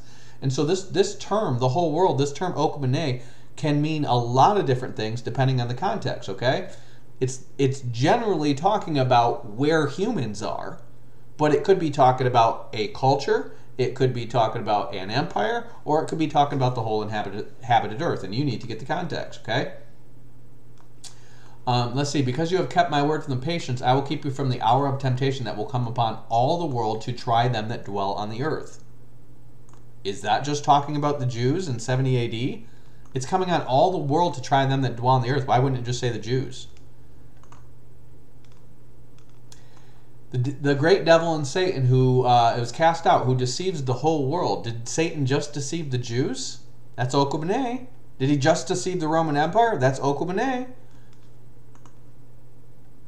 What about when all the kings of the earth come to do battle with the on the great day of God Almighty? You want to tell me where all the kings of the earth were? All the kings of the whole world. Oh, that's just talking about the Jews in 70 AD fighting Titus. This is absurd. These these these definitions that he wants you to hold is, is absurd. He's he's trying to say, oh, if he's going to talk about the whole world, he's only he he'll, he would only use the word cosmos. And he's never using the word cosmos to talk about all the people of the world. He's using the cosmos to talk about the created order, the physical earth, the universe, things like that, okay? And then the question then becomes Did the gospel of the kingdom be preached in the whole inhabited earth, in the whole Roman Empire, as a testimony to all the nations? Well, let's look. Let's go to Colossians 1 3. We always thank God, the Father of our Lord Jesus Christ, when we pray for you, because we have heard of your faith in Christ Jesus and the love you have for all the saints the faith and love that springs from the hope that is stored up from in you in heaven and that you already have heard about in the word of truth, the gospel that has come to you. All over the world, this gospel is bearing fruit and growing, just as it has been doing among you since the day you heard it and understood. So we have the gospel going out into all the world, and let's keep going in verse 20. He didn't say the gospel is preached through all the world for, for um, a testimony to all the generations. He's saying it's gone throughout the world. What does that mean? It means it's spreading throughout the world. It doesn't mean it's been preached in the whole world. 21. Scroll down a little bit here. It says, Once you were alienated from, alienated from God and were enemies in your minds because of your evil behavior. But now he has been reconciled to you by Christ's physical body through death to present you holy in his sight, without blemish and free from accusation. If you continue in your faith, established and firm, not moved from the hope that is held in the gospel. This is the gospel you heard and has been proclaimed to every creature under heaven, and of which I, Paul, have become a servant. So here in Colossians, it says that the gospel had been proclaimed to every creature under heaven. That's obviously uh, hyperbole, but he, it still shows that it went out. And that's what was happening. Paul traveled all over and brought the gospel to all the nations. Uh, a lot of people and commentators will agree up to this point again. But they say again, we're starting with, I can see where you can say all these other ones are referring to uh, time in their day. Verse 15, it says it jumps to the future. So they think there's a break here. So let's read verse 15. It says, So when you see, standing in the holy place, the abomination that causes desolation, spoken of through the prophet Daniel, let the reader understand. Then let those who are in Judea flee to the mountains. People today are, are relatively, they say they're certain that this hasn't happened yet. But again, we have verse 34 that says it had to have happened before this generation passed away. This is one of those things.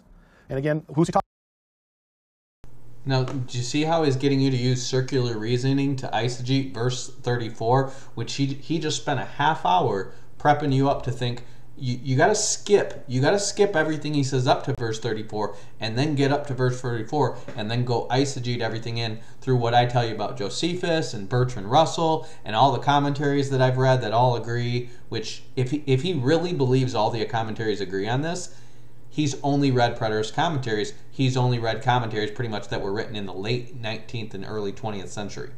Because that's all the commentators that are going to commentate on, on preterism, okay? And he's claiming that everybody believes this, and you should too. Now, there are tons of people throughout church history that, that, that tell you that this hasn't happened yet, because they all know it's going to be the last thing that happens before Christ's coming. The Antichrist will come before Christ's coming. That's a consistent teaching throughout church history.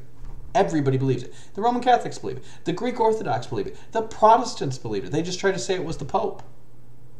Everybody believed this until the preterists in the late 19th century tried to BS their way out of admitting what the entire church believed before them. Now, why is he trying to get you to do this? Okay. Now, he just tells you it's in Daniel. Go read and understand. Is he going to take you to Daniel? Let's see. Talking to here? So when you see standing in the holy place, is he talking to you, the reader, out here in, in 2017? No, he's talking to the disciples. So when you see the abomination of desolation spoken to the prophet Daniel, let the reader understand. Then let those who Judea flee to the mountains. Some people say the you is talking to somebody else. You know, you have that let the reader understand, right? But look, what is the abomination? Uh, the abomination of desolation. If we can identify that, then we know about when it could have been and all those sorts of things. Now, notice he wants to say that you is just the audience he's talking to, unless he wants to make it about Paul or Stephen. Then he'll make it about them, okay? But when he wants to wrangle it down to just the audience he's talking to, now I would like to ask then, out of James, Peter, Paul, and John, the only four people he's talking to, which one of them saw the abomination of desolation in the temple? The answer is this many, unless you count John seeing it in a vision in the book of Revelation. Because three of, three of the four of them were dead by then. And John's the only one that's left, and he's in Ephesus. And that's why this guy is reading letters he's writing to Ephesus and claiming these are before 70 AD. Well, if John's in Ephesus, how, he's, how is he seeing the abomination of desolation standing in the temple? The answer is you need to go to Daniel to understand that, and you need to understand that the 70th week is in the future. But he's not going to take you to Daniel, nor is he going to take you to uh, Paul in Second Thessalonians, because I put those right in front of his face, and he said he's not going to read them. Uh, nobody knows for absolute certainty, in all, in all disclosure, what the abomination is, but there are certain things we certainly do know. Uh, Luke 21 is the mirror passage for this. This is the same story told differently. So let's look and see what that says there. Luke 21. You have the same thing. Wars, rumors of wars, nation will rise against nation, kingdom against earthquakes, earthquakes, famines. Lay hands on you, persecute you. We get on to verse 20. Well, this is a spot talking about the abomination of desolation. Instead, in verse 20, it says, When you see Jerusalem being surrounded by armies, you will know that its desolation is near. Then let those who are in Judea flee to the mountains. So here it doesn't mention specifically as being from Daniel, but it says, when you see Jerusalem being surrounded by armies, then flee to the mountains, which is exactly what it says in verse 16. Then let those who are in Judea flee to the mountains. Exact same thing. Notice how he says it's the exact same thing when it's not the exact same thing? He just read to you and says it doesn't say read Daniel here. And then he goes on to say it's the exact same thing. It says the exact same thing. You just said two opposite things. You said it says something different, and then you said it says the exact same thing.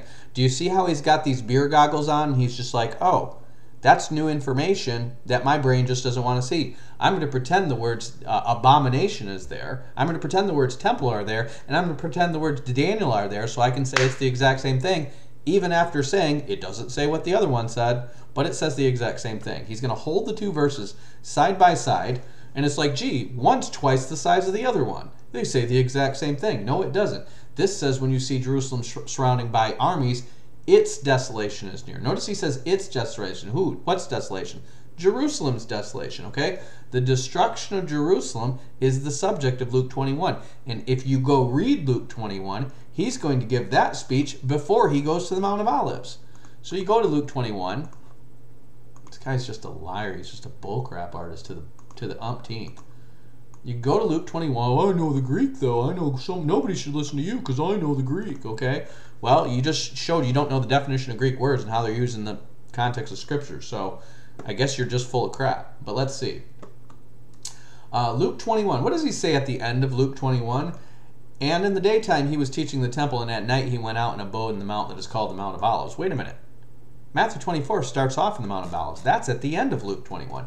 Yeah, because at Luke 21 he says, um, it, and some spoke in the temple how it was adorned with gifts, and he said, As for these things which you behold, so they're right in the temple looking at them, the days will come when there shall not be one stone left upon another thrown down. And they asked him, notice they didn't say, and, and that night they were sitting on the Mount of Olives, and they asked him, this is right after he says this. Notice he, he's going to say something very different here.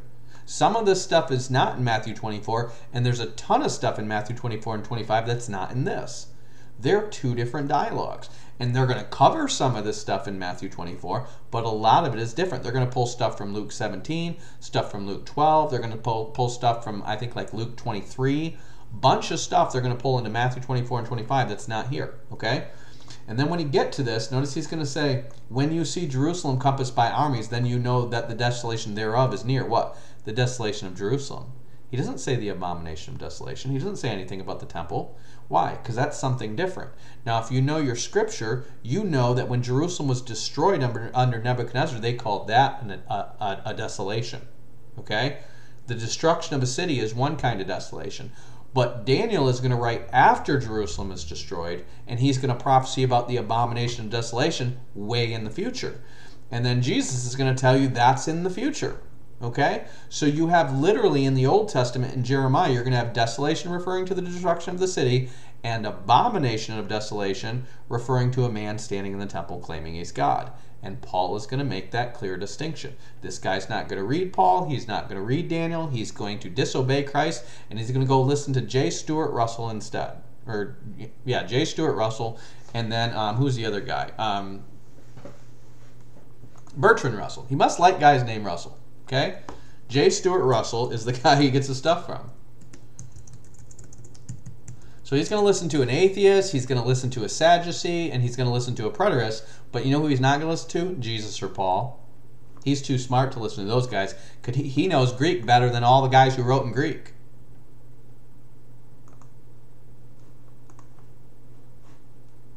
Okay, Captain Brilliant, let's hear what else. Flee to the mountains. So here it doesn't mention specifically as being from Daniel, but it says when you see Jerusalem being surrounded by armies, then flee to the mountains, which is exactly what it says in verse 16. Then let those who are in Judea flee to the mountains. Exact same thing.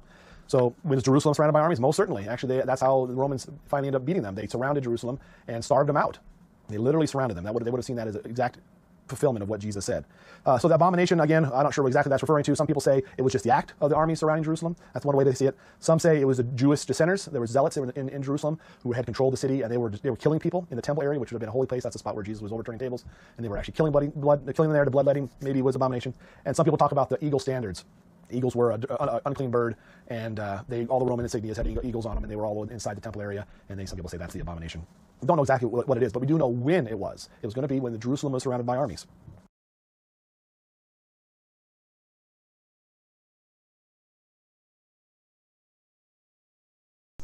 So how could it be the uh, eagle insignias in the temple when Jerusalem is surrounded by armies? How are they outside of the city and inside of the city at the same time? That doesn't seem like it would happen like that. Also, it doesn't seem like they would have time to flee if these guys are already in the temple with their with their insignias. Let's think about that. Why is he saying this? Because these are two different things and he's smushed them together. Well, he's saying you you who knows what the abomination of desolation is? Well, I'll tell you who knows. People who've gone and studied Daniel because that's what Jesus tells you to do. Why don't you do what Jesus tells you to do and go to study Daniel? Why don't you even open and turn a page to Daniel? Why don't you even try to make up some BS about Daniel? Nope. Nope. Nobody can really know. It's this thing or that thing or this thing or that thing, but anything but what the Bible says it is in Daniel and Paul quoting Daniel. Okay? We have a word abomination used all over in Scripture. It refers to false gods. Uh, Deuteronomy 7.25. Uh, Nadab and Abihu brought strange fire. It was said to be an abomination. What do you do with abominations? You burn them. That's what happened. Uh, you burn the abominations. And that's what happened in Jerusalem after they broke in finally. Uh, they burned the temple to the ground. Uh, some people protest here that it has to be a worldwide thing. Uh, but it doesn't have to be worldwide because all you got to do to escape this is flee to the mountains around Judea. If it was a worldwide thing, fleeing to the mountains of Judea would not help you uh, from escaping you know, the comets or nuclear war or whatever. Okay. He's saying those who are in Judea flee to the mountains. He's not saying the whole world flee to the mountains. He's saying that's what the Jews in Judea need to do to be protected, okay? Now, if you re- listen to any of my commentary in the book of Revelation, that's because the Jews are going to run to Bozrah. They're going to be protected there, and then Jesus is going to come down. He's going to get his robes coated with blood by fighting around Bozrah, okay? As for the rest of the world, we're either going to get raptured, get our heads chopped off for not taking the mark of the beast, or go to hell for taking the mark of the beast. That's what's going to happen, okay? But the Jews are a special case. Those believing Jews get to flee to Bozrah in the mountains because God has blinded them in part on purpose, and they've had a pretty rough go at the last 2,000 years. And so God's going to cut them a little break and say, if you run to Bozrah, I will save you, okay? Now, he's going to say, well, wait a minute. If it's a worldwide thing, why would they run to Bozrah? Why would they run to the mountains? Because Jesus said to run to the mountains if you're in Judea. If you're fleeing the city, where are you going to run? Yes, you can flee the city in the end times. Yes, Revelation 12 is talking about the Jews fleeing the city in the end times. Then it talks about Satan being cast down from heaven. Then it talks about the earth being harvested. Then it talks about an image being set up in the temple and people being made to worship it and take the mark of the beast. Yeah, all that stuff's in the book of Revelation. It describes everything. You're like, who knows? You know, burning. We know that abominations get burned. Something about idols I, I don't know. Who can possibly know what abomination means? I don't know. Why don't you go study Daniel? No, I don't want to listen to Jesus. Okay. But Jesus told these things, them these things, so they would get out. You're going to hear wars, rumors of wars. This is going to happen. That's going to happen. When you see standing in the holy place, abomination that causes desolation, then, then flee to the mountains around Judea. And Josephus records that some did survive in the, in the mountains, in the caves uh, around Jerusalem. So Jesus says, when you see the abomination of desolation standing in the holy place, where's the holy place? It's in the temple. It's literally in the Holy of Holies. What's abomination of desolation standing in the holy place? Well, Paul says it's the man standing in the temple claiming that he's God, and John says it's going to be an image in the temple after that man is struck down by the Lord's appearing. So it's both of those things. Okay? Why do you think it's Jerusalem surrounded by armies? He just said standing in the holy place. How are you going to get surrounded by armies out of standing in the holy place? Well, because I don't know. And let me tell you everything I know about the original Greek. If you knew the original Greek, that standing in the holy place means outside the city, because that's the holy place. Let's go on to the next, next verse, verse 17. Let no one on the housetop go back to take anything out of the house. Let no one in the field go back to get their cloak. How dreadful it will be in those days for pregnant women and nursing mothers. Pray that your flight will not take place in winter or on the Sabbath, for then there will be great distress, unequal to the beginning of the world until now, and never be equaled again. So here you have, again, types of things we don't have today. Let no one on the housetop go back down to take anything out of the house. When's the last time you were on top of your house? Uh, we don't have that. In those days, they had flat roofs. That's describing a time when they would be on the house. If you remember, in, in when they hid the spies, uh, Rahab in the Old Testament, they went on the roof where there was a, a, pile of hay or something. They hid him there. And so, again, let no one in the field go back and get their cloak. That's the field is talking about working out in the field. It's talking about agrarian society. When's the last time any of us were out working in the field? Uh, talking about winter or on the Sabbath. We don't honor the Sabbath here in today's day. What's the first thing? You remember in Acts? For those of you that aren't completely retarded, these are all pictures of Jews working in the fields today.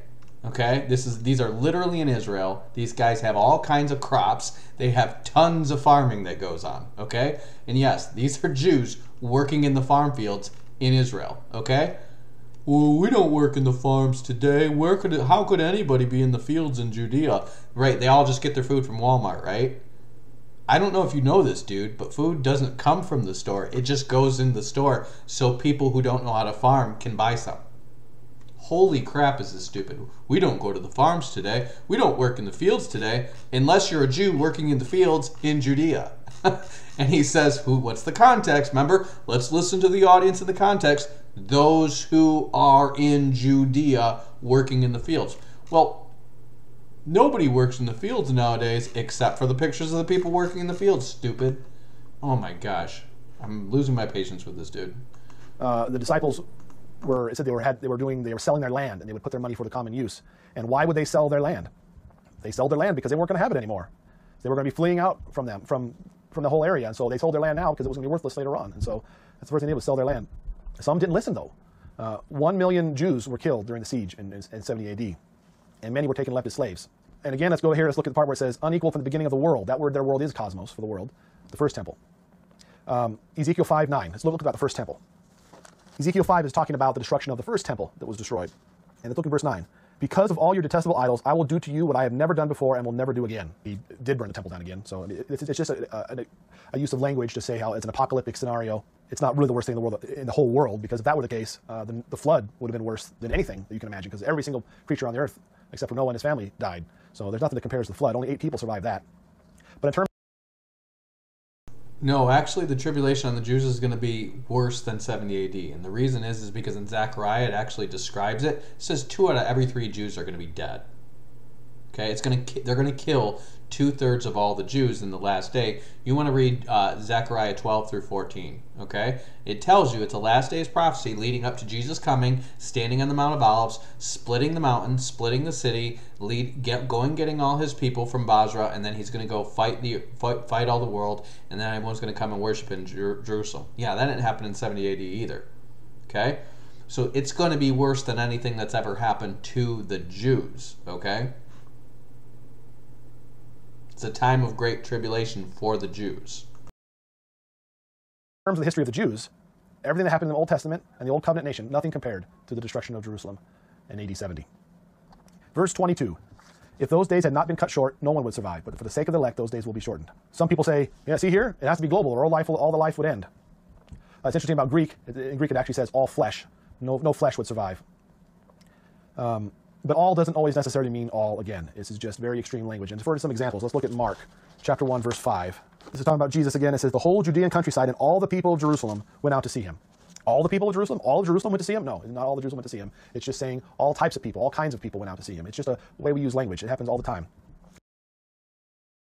Now, notice how he makes things hyperbole whenever he wants to, and then he makes it really super, super specific whenever he wants to. And then he'll say, You is only talking to the apostles here, and then it's talking about Peter and John here, and Antichrist are only talking about Antichrist that the apostles see here before 70 AD. But then over here, it's talking about John with these Antichrists after 70 AD. Notice how he just has this selective interpretation, and what the interpretation is is this.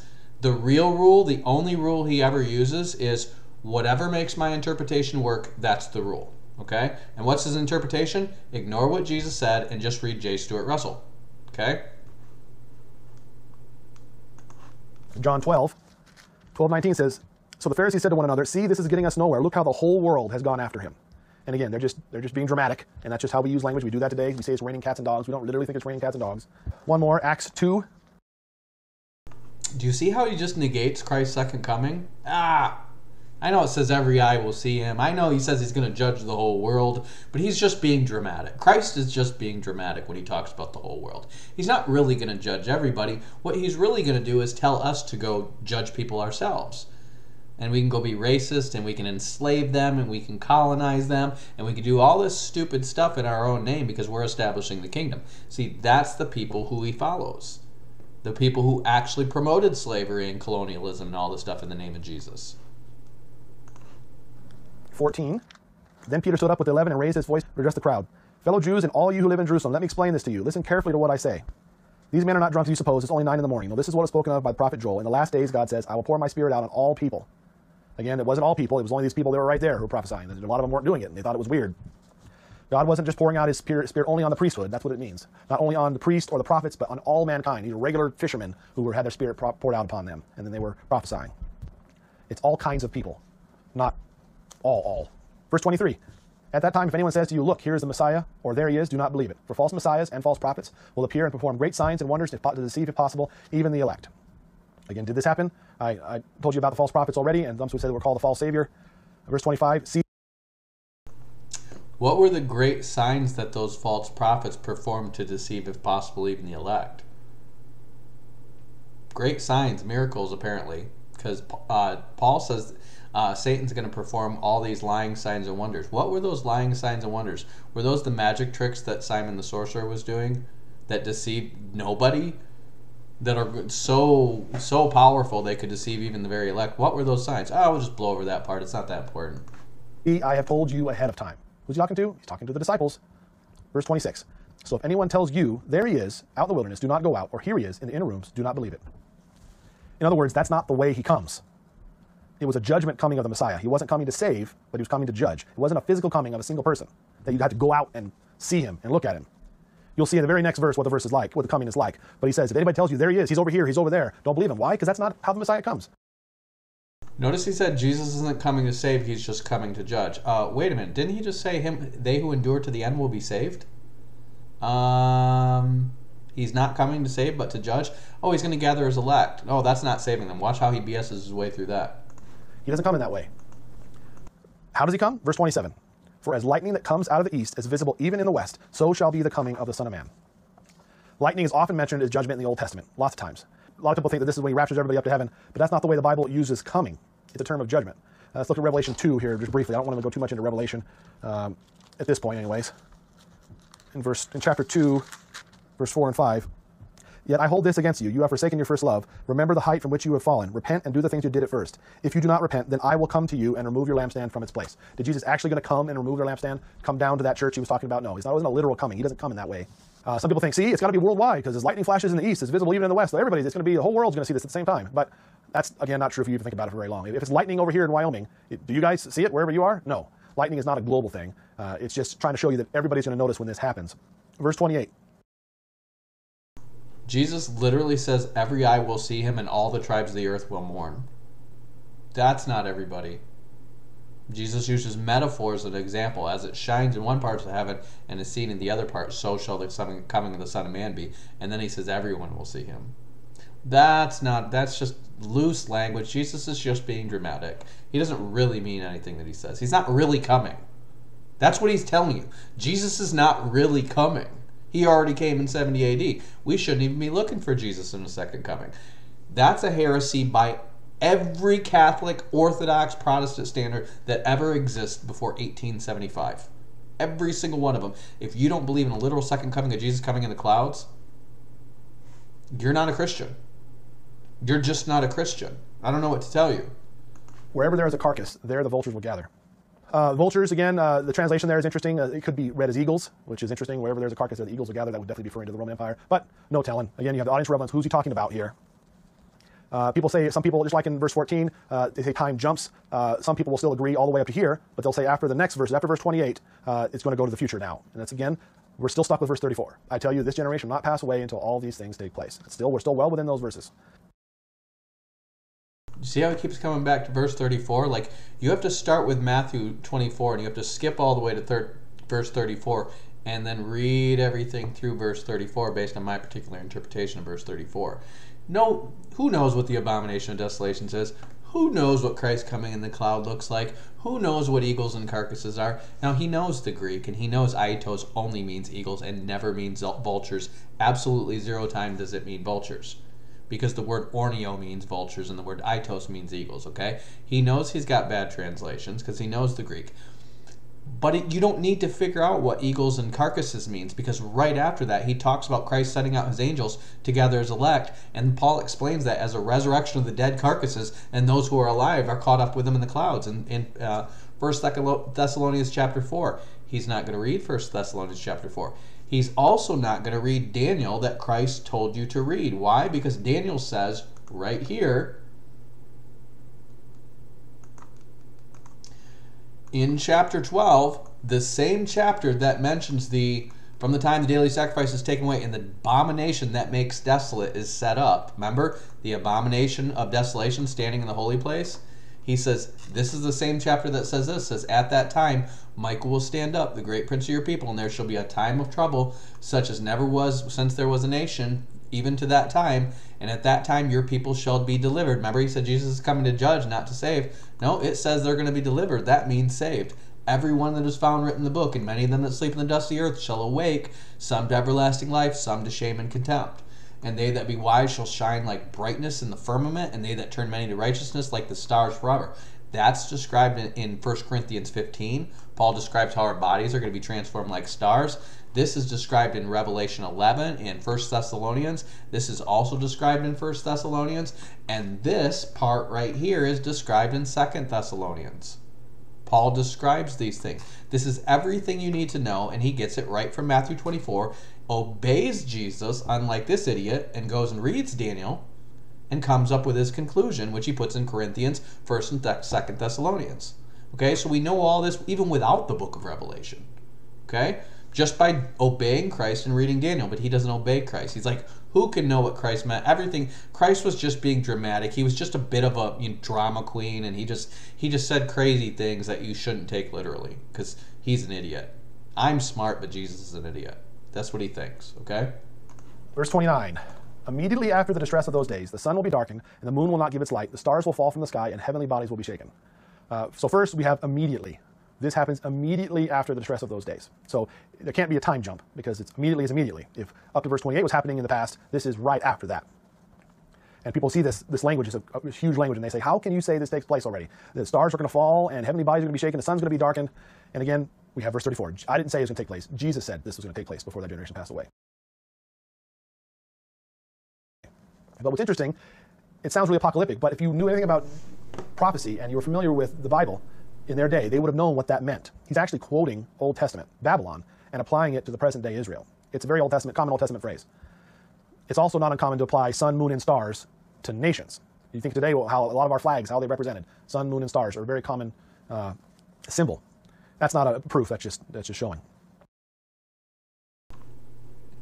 Okay, do you notice how he doesn't take you to any of these Old Testament prophets that t- they talk about the sun and, and turning to darkness? Do you know why? Because the context of every single one of them is the end of the world. Go to Joel 3, go to Joel 2, go to Isaiah 24, go to Isaiah, um, I think Isaiah 3. Okay, the context is always the end of the world. None of these passages are about Nebuchadnezzar coming. They're in Isaiah and Joel, and Isaiah and Joel were hundreds of years before, or like like 150 years before Nebuchadnezzar. Okay, he doesn't talk about the sun turned into darkness in Jeremiah. He doesn't talk about the sun turned into darkness in Habakkuk. He doesn't talk about the sun turning into darkness in in uh, Zephaniah. Those things aren't there. They're only in prophecies that are about the end of the world. Now look, listen to this.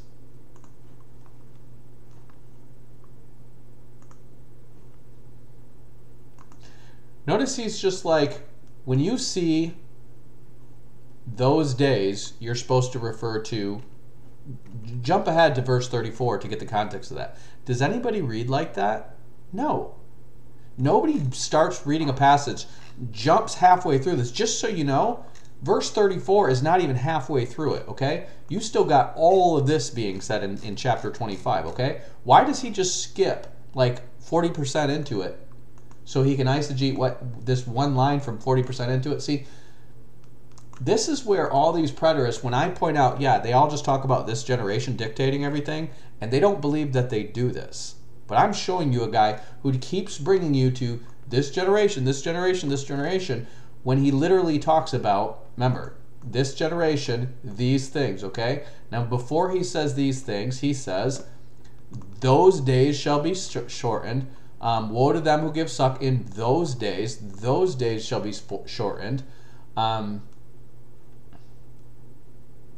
and then immediately after the tribulation of those days. He keeps referencing this future time after the abomination of desolation. Now, he doesn't know what the abomination of desolation is. He can't tell you what it is because he won't read Daniel, which is what Christ told you to do. Now, I'm showing you how Paul did all the homework for you already. He goes to Daniel 12 he literally goes to Daniel 12.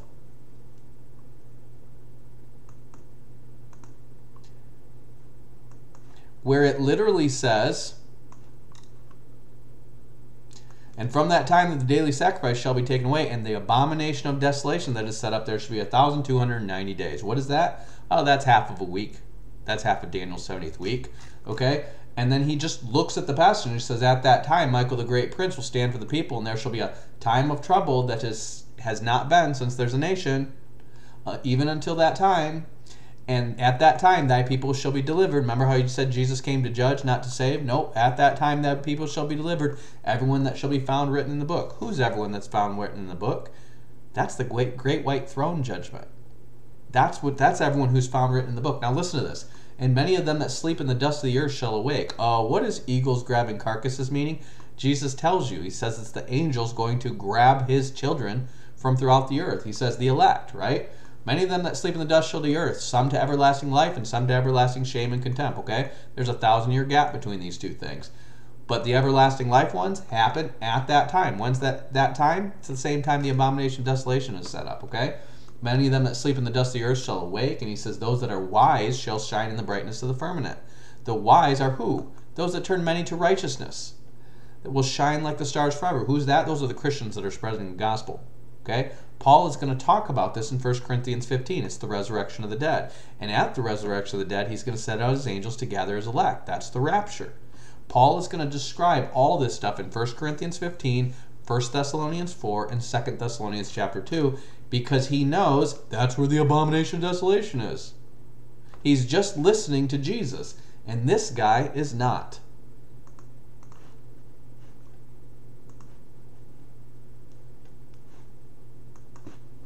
Isaiah 13, though. Let's go back to Isaiah 13.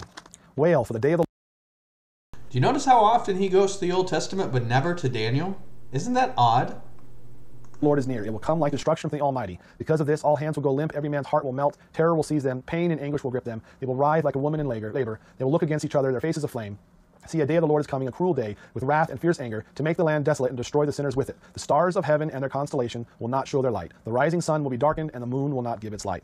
So here we have a very, very similar thing, a very apocalyptic. Hearts melting, terror is going to seize them, uh, make the land desolate, destroy all the sinners. Uh, stars are not going to give their light. The sun's going to be darkened, the moon's not going to give its light. These are the exact same kind of language, but it was referring to, to Old Testament Babylon being destroyed.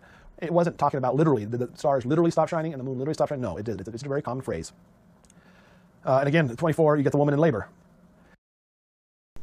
That prophecy wasn't talking about Old Testament Babylon being destroyed. Old Testament ba- Old Testament Babylon was not even a major power back then. Isaiah wrote that during the peak of, of, of the Assyrian Empire. The Babylonian Empire hadn't really risen yet. He's talking about last days mystery Babylon, which is, which is in the book of Revelation. Israel is also shown in prophetic ways to be the sun, moon, and the stars. Remember Joseph's dream in the Old Testament? Genesis 37, 9 and 10. Well, let's just read it. Then he had another dream. He told it to his brothers. Listen, he said, I had another dream, and this time the sun and moon and 11 stars were bowing down to me. And he told his father as well as his brothers. Said, Father rebuked him and said, What is this dream you had? Will your mother and I and your brothers actually come to the bow down ground before you? This is, again, sun, moon, and stars. In this case, again, referred to Israel. It was the sun was, the, the, the, was his dad, and his mother, his mom was the moon, and his brothers were the stars. And that's, again, Israel today. That is Israel. Jacob was renamed Israel. And so sun, moon, and stars uh, refers to it that way. Let's look at Revelation. He's going to say the sun, moon, and stars refer to Israel. Always? Do always the sun, moon, and stars refer to Israel? Because in Revelation 12, there's a woman clothed with the sun with 12 stars above her head and the moon's under her feet, and she flees Jerusalem.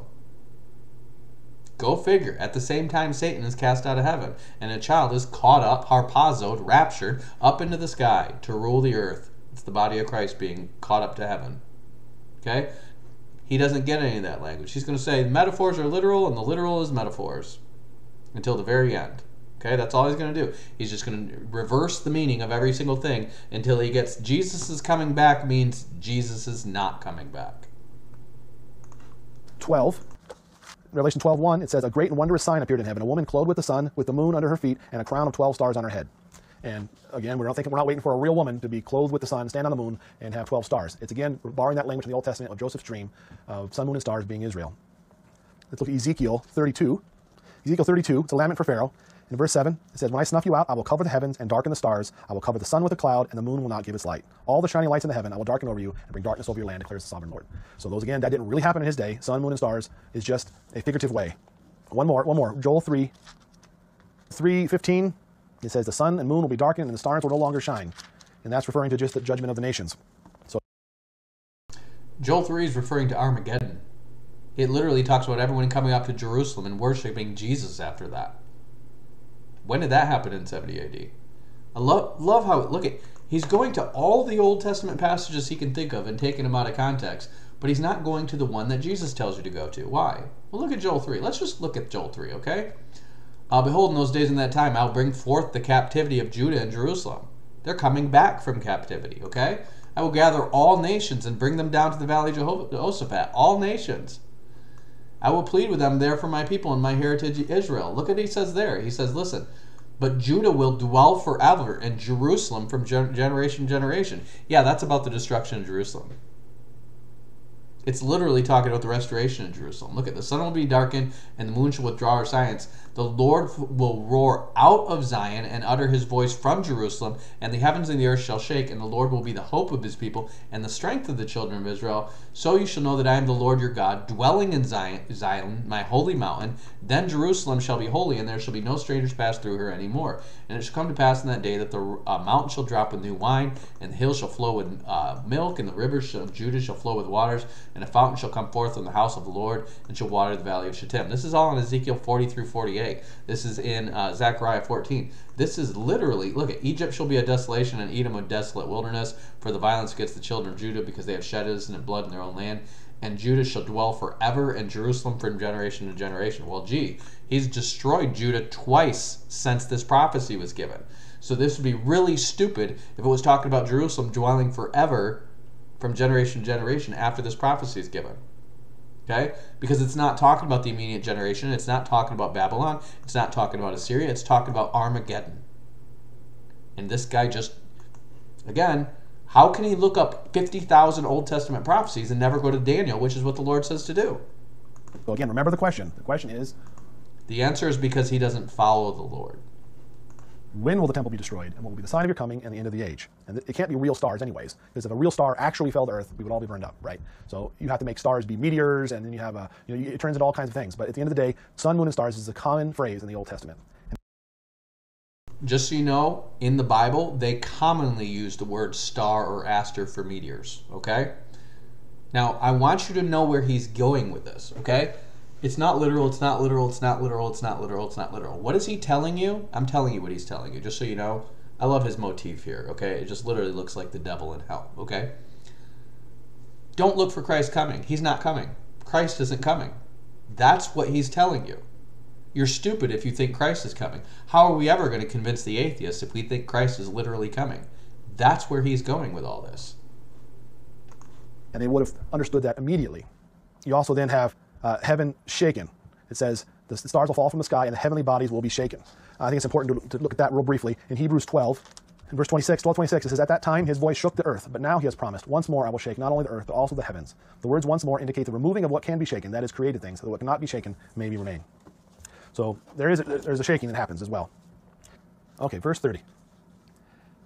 At that time, the sign of the Son of Man will appear in the sky, and all the nations of the earth will mourn. They will see the Son of Man coming on the clouds of the sky with power and great glory. So this, this is another big one. People think, man, there's no way you can tell me that this has already happened. It's, it's, it's too apocalyptic. It's too huge. Jesus coming to earth, a second coming. But again, we have verse 34. Verse 34 says, all these things. This is one of those things.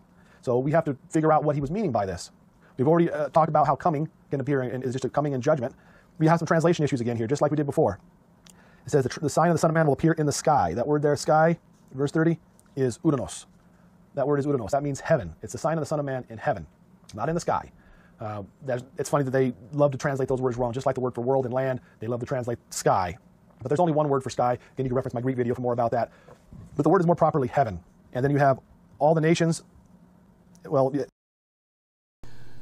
Okay, don't reference this guy's Greek video. The word for the word for Oranos is used for all the heavens. It's used for the heaven where the angels dwell. It's used for the space where the stars are, and it's used for the heaven where the birds fly. Okay, just go to just go to Genesis, and just look at what it, it's going to use the same word in the in in the um, in the Hebrew for heaven for where the birds are, and the same word for where the stars are, and the same word for where the angels are. And it's the same thing in the New Testament. There's only one word for heaven. That's why Paul describes the third heaven. So you can distinguish between the first heaven where the birds dwell, the second heaven where the stars are, and the third heaven where the angels are. And he says he got caught up to the third heaven. Okay? This guy's going to tell you there's only one word for sky. Okay, all the Bible translators are wrong all the Bible translators are wrong because this guy's got a Greek video. He's such an expert, okay? What he is is a devil. He's a liar, okay? the word there nations is the NIV, but the word there is tribes, the tribes of the earth. And that earth there again is just like the same word we talked about earlier. It's not cosmos, it's land, the tribes of the land. Who are the tribes of the land? That's the 12 tribes. The 12 tribes are going to mourn. When they see the Son of Man coming on the clouds of the sky with power and great glory. He's coming to destroy the temple. And that's going to make them all very sad, and they do mourn. There's a whole, whole set of poems called the Sibylline Oracles where they just lament and wail and mourn for the destruction of the temple over and over again. The bottom line. Do you see? Now, if you guys watch my Christendom series, did you hear him just reference the Sibylline oracles as a source? Notice where he's going. Jesus says go to Daniel. He goes to Josephus. He goes to um, Bertrand Russell. He goes to um, the Sibylline oracles, the demonic Greek oracles. Well, there's my there's my proof right there. The Sadducee, the the the Sadducee that doesn't believe in the resurrection of the dead, the atheist who doesn't believe in God, and the Sibylline oracles who are demon demonically inspired. Those are those are my proofs. Okay, but don't worry, we're just going to stick to the Bible here. Liar. It is very sad. And they do mourn. There's a whole whole set of poems called the Sibylline Oracles where they just lament and wail and mourn for the destruction of the temple over and over again. The bottom line is verse 34 says that it had to have happened already. But again, this isn't a, this isn't a giant of the earth appearing in the sky. It is the tribes of the land mourning when he appeared. The sign of the Son of Man appears in heaven. Verse 31. And he will send forth his angels with a great trumpet, and they will gather together his elect from the four winds, from one end of the sky to the other. Again, the word sky here is actually heaven. Some people see this verse as God literally sending angels that take the Jews, pick them up from all over the place, and drop them off in Jerusalem, and it's going to have a thousand year reign there. So that word angel there is the Greek word angelos, and it just means messenger the, most of the time, or a lot of the time, rather, when angelos is used, it is referring to God's messengers, which is who we call angels. Uh, but in English, we have ripped that word out, angelos, and made the word angel and made it be only God's messengers. For instance, John the Baptist is actually referred to as an angelos in Scripture when it says that I will send my messenger ahead of you to prepare your way for you. That's what he said about himself. The word there is used as angelos, uh, but he's not actually an angel. It's just the word for messenger. So if you read that the correct way, he will send forth his messengers with a great trumpet, and they will gather together his elect from the four winds, from one end of the heavens to the other.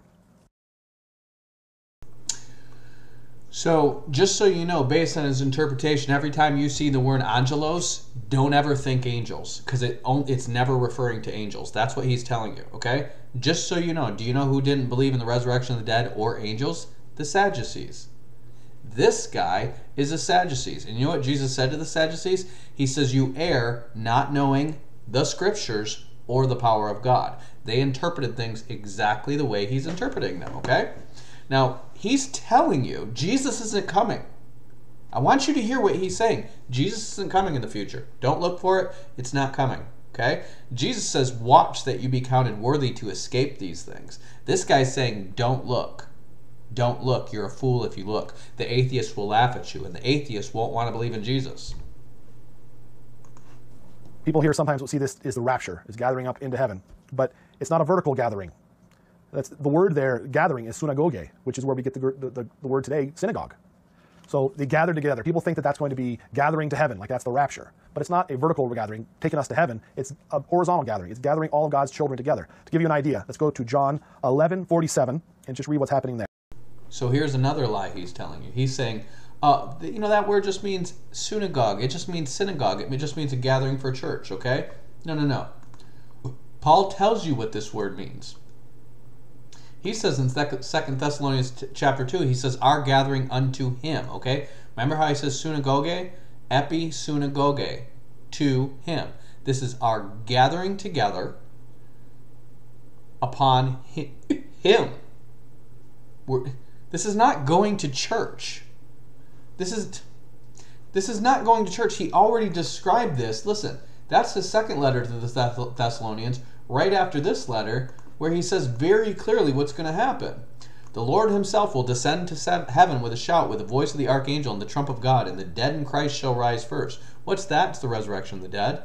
And we who are alive will be caught up, harpazo.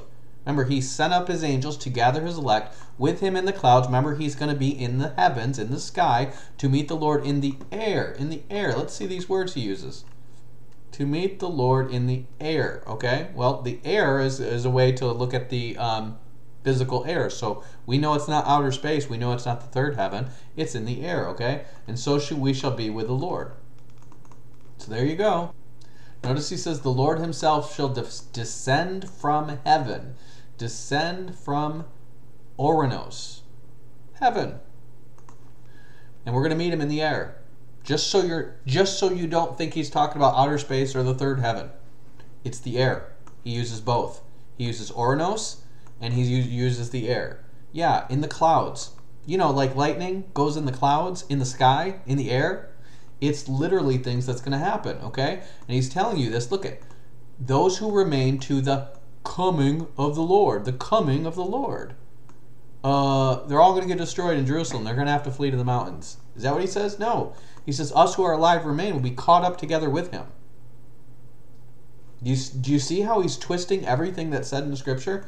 Notice how he's not touching on these passages, which are the clearest descriptive passages of the things that he's reading in Matthew 24. He doesn't go to Daniel like Christ says. He doesn't go forward to Paul, who read Daniel like Christ says. It says, Then the chief priests and the Pharisees called a meeting at the Sanhedrin. This is in reference to Jesus. What are we accomplishing? They asked. Here is this man performing many miraculous signs. If you let him go on like this, everyone will believe in him, and then the Romans will come and take away both our place and our nation. Then one of them, named Caiaphas, who was high priest that year, spoke up. You know nothing at all. You do not realize it is better for you that one man die for the people than that the whole nation perish. He did not say this on his own, but as high priest that year, he prophesied that Jesus would die for the Jewish nation, and not only for that nation, but also for the scattered children of God, to bring them together and make them one. That's the gathering that he did, bringing all of God's children together. He will gather together his elect, his chosen. That word elect is just the Greek word chosen, his chosen, one end of heaven to the other. Jews and the Gentiles. Notice how he tries to make it about, oh, he's going to pick up all the Jews. No, it doesn't say he's going to pick up all the Jews. It says he's going to pick up his elect. His elect. Well, who is his elect? Well, the New Testament tells you the elect are all the believers in Christ. tended to be separated from each other. Even it was that way even after Jesus died. Uh, it says that Peter was sent to the Jews and Paul was sent to the Gentiles. They were even fighting at Acts. You remember they were fighting about the widows being overlooked. The Jewish widows were being overlooked. The Greek widows. Were, and let's look at the Luke Olivet discourse. It's way so Earth's going to be destroyed, and I'm not. What is that? You have the temple, the covenant, the priesthood, all those ceremonies and practices. Those are going to be destroyed. So that what not be shaken will remain. That's the finished work of Jesus Christ and what He did on the cross. Okay, verse 36. But about that day or hour, no one knows, not even the angels in heaven, nor the Son, but only the Father. So this verse uh, is, some people want to make it be uh, that day no one knows, the day the heavens and the earth pass away. But that, I don't think the subject is changing at all. It's still all the same one block. And you can kind of tell by the next verse. Uh, verse 37 says, As it was in the days of Noah, so will it be at the coming of the Son of Man. So the subject is still the coming of the Son of Man. And about that day or hour, you don't know. Jesus had told them, I've told you the signs leading up to it. I told you the things that are going to have to be in place. You're going to hear wars, you're going to hear rumors of wars, this and this and this. You're going to be persecuted. Uh, so you know what's kind of going to come, but you don't know about that exact day nor that exact hour. And that's the point of this, this deal. Some people think, again, that there's a break. Uh, and after he says, Notice how he says, well, wait a minute. When you see Jerusalem surrounded by armies, then flee. Well, wait a minute. He just says right there that you won't know till the exact day.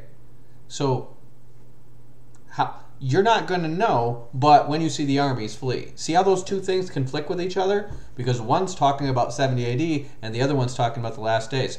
You're not going to know when the rapture happens. Okay? It's going to happen suddenly. And unless you're watching for the signs he told you to watch for, you're going to be taken like a thief. That's what he's saying. And when he's saying taken like a thief, he doesn't mean raptured.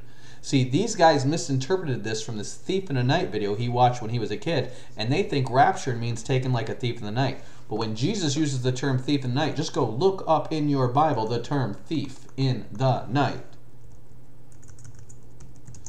Just type in like a thief, okay?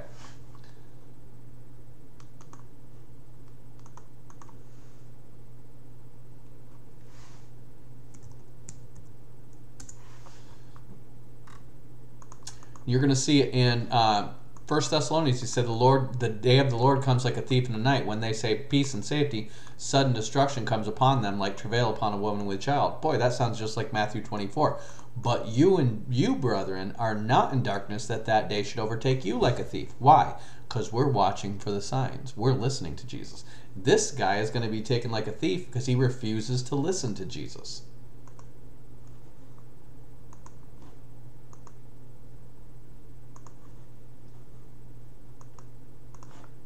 Um, heavens and earth will pass away, my words will never pass away. That the rest of it is talking about the day the heavens and the earth pass away. Um, one of the other reasons why you can see that's not the case, they would agree with me that before this verse is talking about the destruction of Jerusalem, but after this is talking about the destruction of the heavens and the earth on the last day in the future. Um, but if you turn to Luke, in Luke 17, Luke 17 is like a mini Olivet discourse. It covers the same things and same details, but just a, a smaller summary. And you'll notice something interesting if you look at it. You look in verse 26, it says, Just as it was in the days of Noah, so will it be the, in the days of the Son of Man. People eating, drinking, marrying, and be given in marriage up to the day Noah entered the ark. Then the flood came and destroyed them all. So this is just like it has in Matthew 30, 24, 36, and 37. But after this,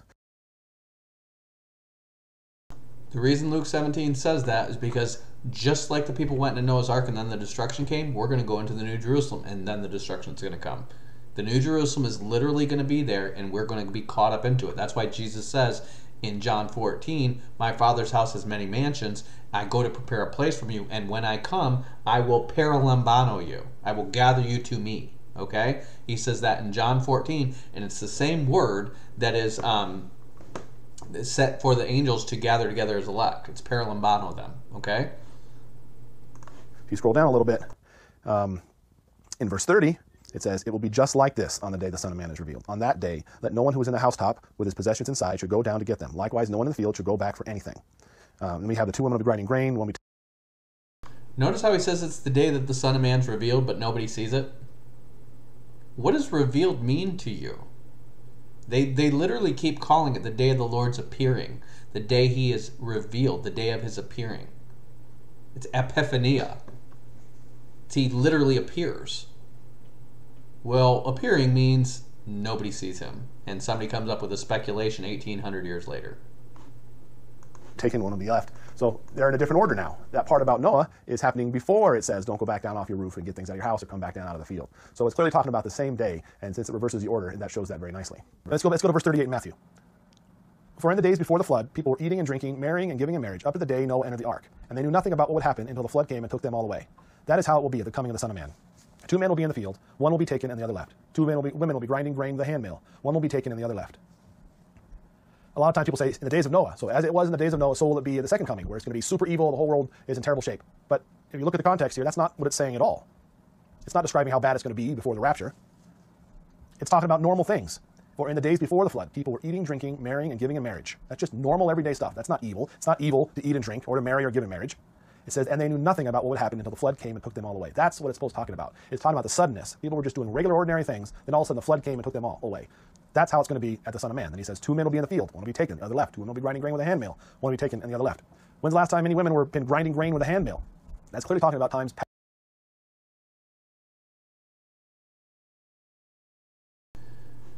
This is how myopic and dumb this guy is. Women don't grind with a handmill anymore. Really? Do you what do you think they just added color to these pictures from 100 years ago? These are women all over India, all over the Middle East. Poor countries that don't shop at Walmart. Women still grind in handmills. Look at these are women grinding bread. It happens literally in like 60% of the world still does this. Okay? All over Africa, all over the Middle East, all over Central and South Asia, women grind at the mills. Okay? Well, in America, we don't grind at the mills anymore. Actually, we do, but they're, they're automatic mills because we're rich. But people who aren't rich and who can't just go to Walmart and buy a loaf of bread for six bucks because literally six bucks is what they make in a month, they actually grind their own bread. I can't get over how stupid this guy is. Past. You know, we don't do that. Two men in the field, working in the field, again, not to happen. And I was told all my life that these two verses, 41, two men in the field, one will be taken, one left, two men grinding, grinding grain, one will be taken, the other left. That's the rapture. One's going to be taken to heaven, one's going to be left here. But if you think of the analogy, what's actually happening here, it says, the days before the flood, people were eating and drinking, marrying and giving in marriage, and the flood came and took them all away. Until the flood came and took them all away, verse 39. Two men will be taken in the field, one will be taken, the other's left. The one that's taken is the one that's destroyed in the flood, and the one that's left is, all, is not. Okay, this guy supposedly an expert in Greek. I cover this in my in, in my series on. Um, I'm, I'm, I'm going to clip it to the end of this video. Okay, my mid trib proofs. Okay, there's two different words for taken in Noah. Those guys, that's airo, which is taken up and out of the way, and the word paralambano means taken along with yourself. It's literally the same word that talks about Joseph taking Mary along to be his wife. Okay, this guy got on my channel and told me I'm so ignorant of Greek, I need to watch this video to educate myself, okay? He doesn't know that there's a difference between paralambano and airo of all the Greek stuff he's telling you. See, this is what he's doing. He knows. He's read this in the Greek, I promise you. But he knows you haven't.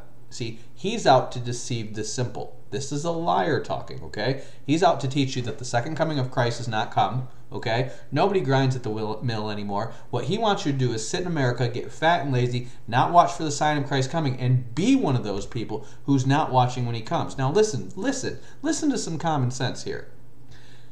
The riots that led to 70 AD, do you know when they started? 62.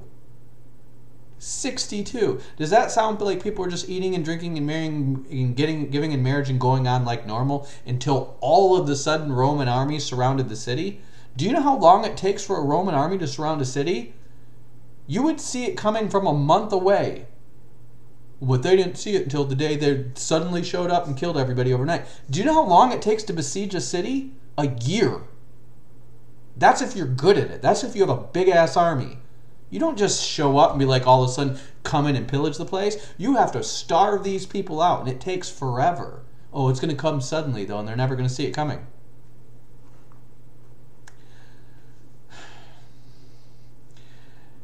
The worst kind of fools in the world are the people who are equal parts ignorant and dishonest. And this guy is both. He's equal parts liar and idiot. Put them together, and you have a damnable fool. It also could be referring to those that were taken into slavery. 50,000 Jews were taken into slavery.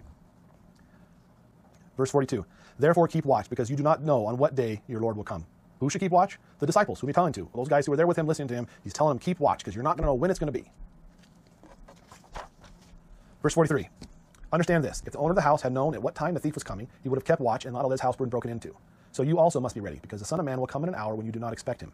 Who then is the faithful and wise servant, whom the master has put in charge of the servants in his household to give them their food at the proper time? It will be good for that servant whose master finds him doing so when he returns. Truly, I tell you, he will put him in charge of all his possessions. But suppose that, that servant is wicked and says to himself, My master is staying away a long time, and then he begins to beat his fellow servants and eat and drink with drunkards. The master of that servant will come on a day when he does not expect him, and an hour he is not aware of. He will cut him to pieces and assign him to the place with the hypocrites, where there will be weeping and gnashing of teeth.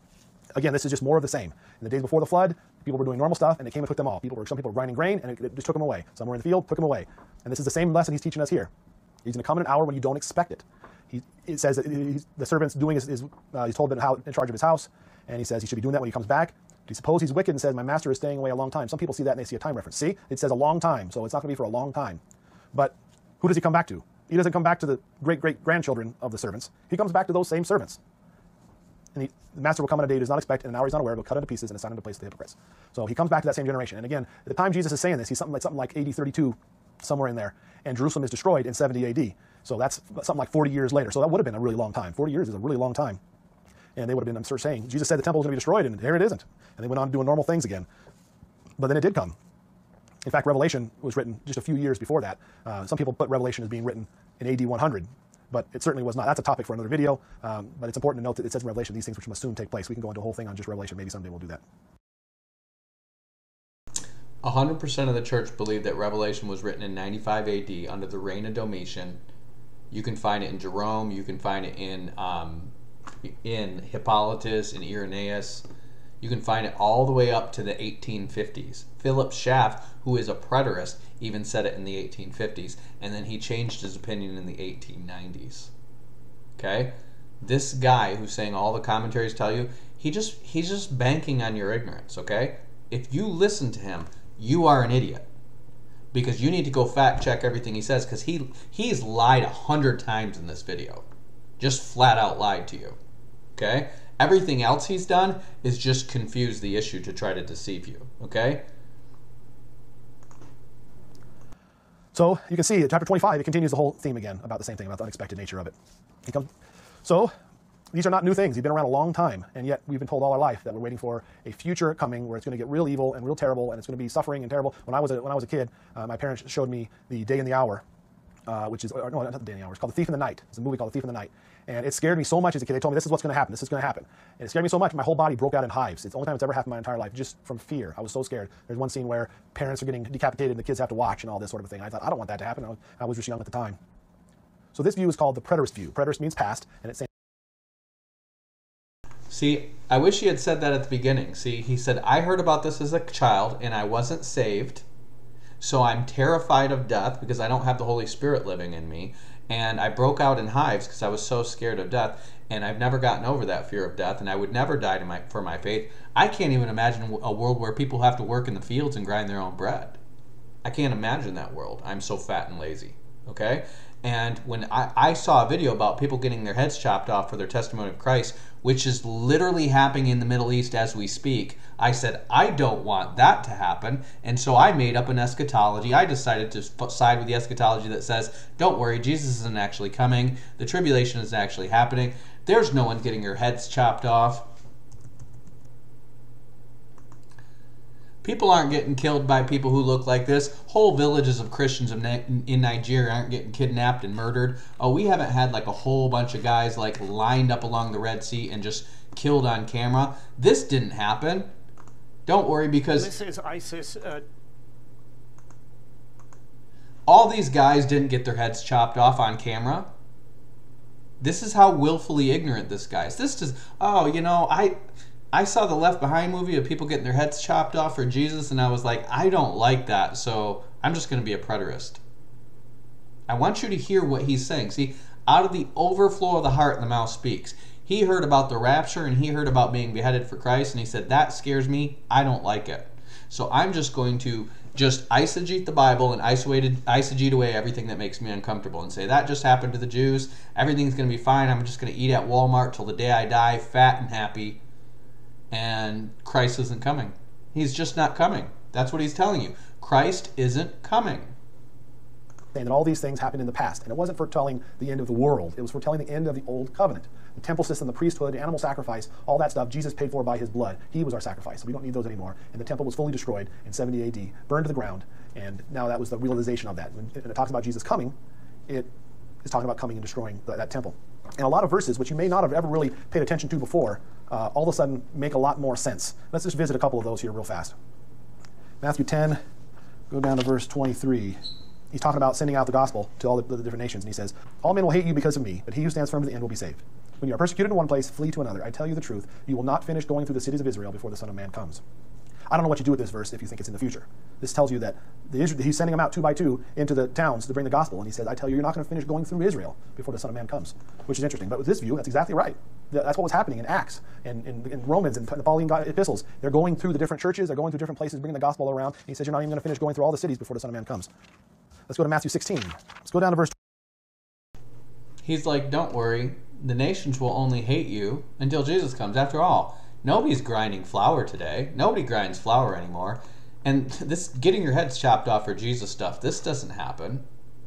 Not in my world. Where do you live? Uh, probably where the predators live in Pennsylvania or something like that, where they're literally in the countryside of Pennsylvania and they think the whole world is just like, you know, grocery stores and farmhouses and middle class incomes and everything like that? 27.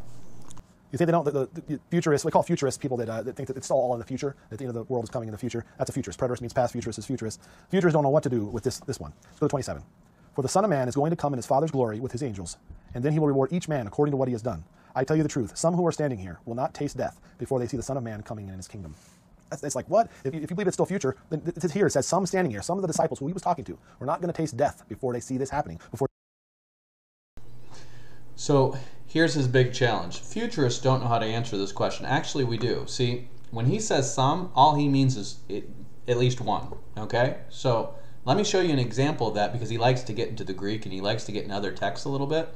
See, in John 6, when all, the, all his disciples part from, depart from him and there's only 12 left, he literally says, um, many of his disciples, when they heard this, he said they said they they left, and they said they offends it offends him. And then he says, But then there are some of you that believe not, for Jesus knew from the beginning who they were that believed not and who should betray, betray him. Therefore he said that none, uh, no man can come to me unless it were given him by the Father.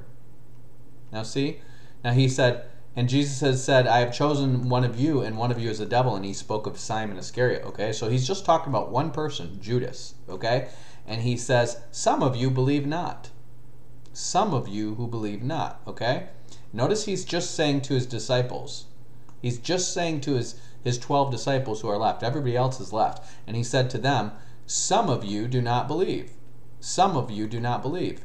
And yet he's just talking about Judas. Okay, so Notice he said, Some standing here will not taste death until they see the Son of Man coming in his kingdom. So remember what my precedent is? John 6. And literally, John was there, and he records him saying, Some of you do not believe, and not talking about Jesus. Well, that same John, he's going to be on the island of Patmos, and guess what he's going to see? Island of Patmos, and what did I see? He gave record to the word of God and the testimony of everything he saw. And he says, Behold, he comes in the clouds, and every eye will see him, and he's going to see Jesus coming in his kingdom.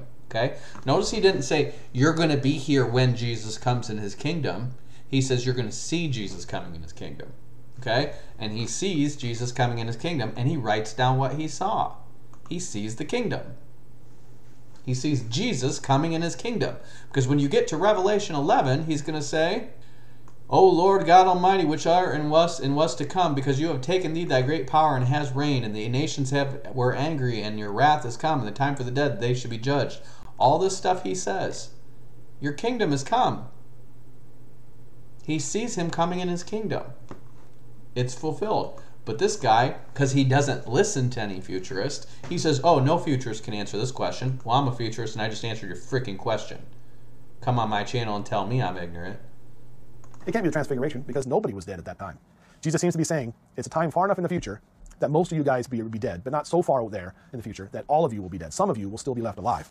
And that's exactly what happened. If like 40 years later, many of them were killed, but John at least was alive to see it.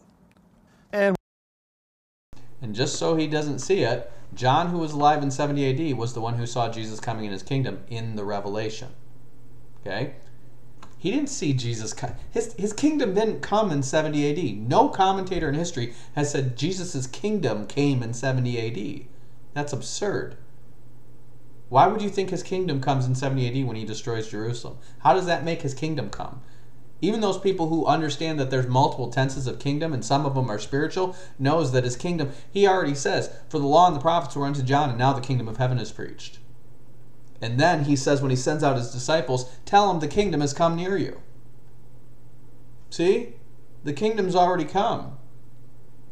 But then when they see Jesus coming in his kingdom, or they say you see the kingdom coming in power, all those things have different tenses to them.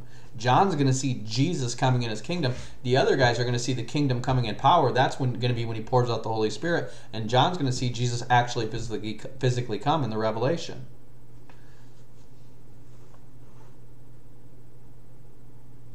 there's lots of these. If you read the Bible with that in mind, it starts coming alive a lot more. Let's just leave read one more. John 21, the end of John, in verse 20.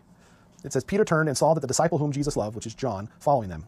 This is the one who had leaned back against the Jesus at the supper and had said, Lord, who's going to betray you? When Peter saw him, he asked, Lord, what about him? Jesus it wasn't about the end of the world.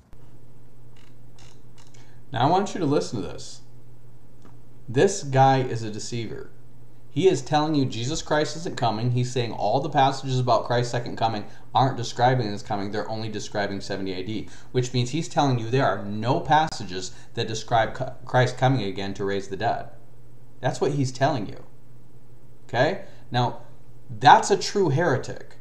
Every denomination of Christianity will say that's a heretic. Theological triage and all your BS about we're all brothers in Christ, that's a true heretic. He is denying all the passages that describe Christ's second coming and the resurrection of the dead.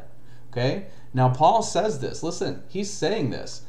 The, the gospel which I preached to you, he's saying, which you have received and wherein you stand, by which you are saved, if you keep in memory what I preached to you, unless you believed in vain. Now, what did Paul preach to these guys? Now, he says this, but he also describes First, First and Second Thessalonians were written to a church that he only taught for three weeks, and he tells them in Second Thessalonians, "Remember that I was with you. I told you these things." So that was the gospel he preached, and he's saying, if you don't believe it, if you don't keep in memory what he preached to you, then you've died in vain. And he's going to go on to tell you that if it be preached that Christ rose from the dead, how are some of you that say there's no resurrection from the dead? This guy's denying the resurrection of the dead. If he's not, what passage are you going on? Because you're denying all of them are about 70 AD. If there's no uh, resurrection of the dead, then Christ is not risen. That's what he's saying. And if Christ is not risen, then our preaching is in vain and our faith is in vain. And we are found to be false witnesses of God because we testify that God raised up Christ from the dead, who he raised not up if the dead don't rise. He said, if the dead rise not, then Christ is not raised. Okay? You need to get Paul's logic in your head.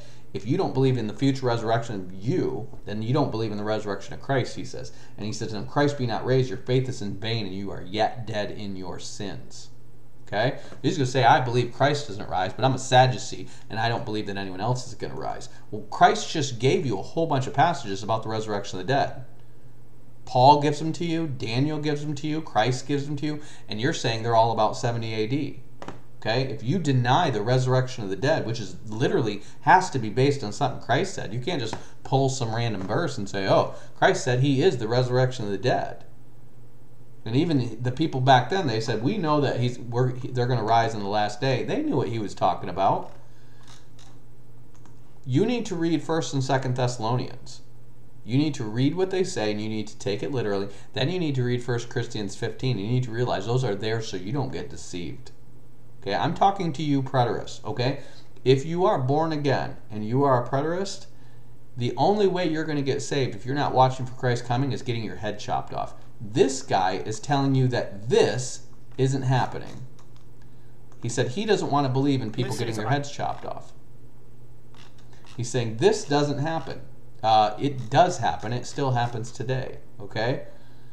And he's like, I saw a video about that. Oh, there's no women grinding at the mill. There's no people getting their heads chopped off. None of that stuff is happening. Everything that makes me uncomfortable, I just wish it away. Well, I'm sorry, Care Bear Stare, but that doesn't work in real life. All right? You need to submit to what the scriptures say, or you don't belong to Christ. And anyone who can spend this much energy twisting everything that Christ says, and then when Christ just flat out says, go read Daniel so that you understand what the abomination desolation is, and he doesn't even attempt to do that, this is a man who says, Why do you call me Lord, Lord, and don't do what I say? Look at his comments. He's had this up here for five years. He told me to go watch this and educate myself.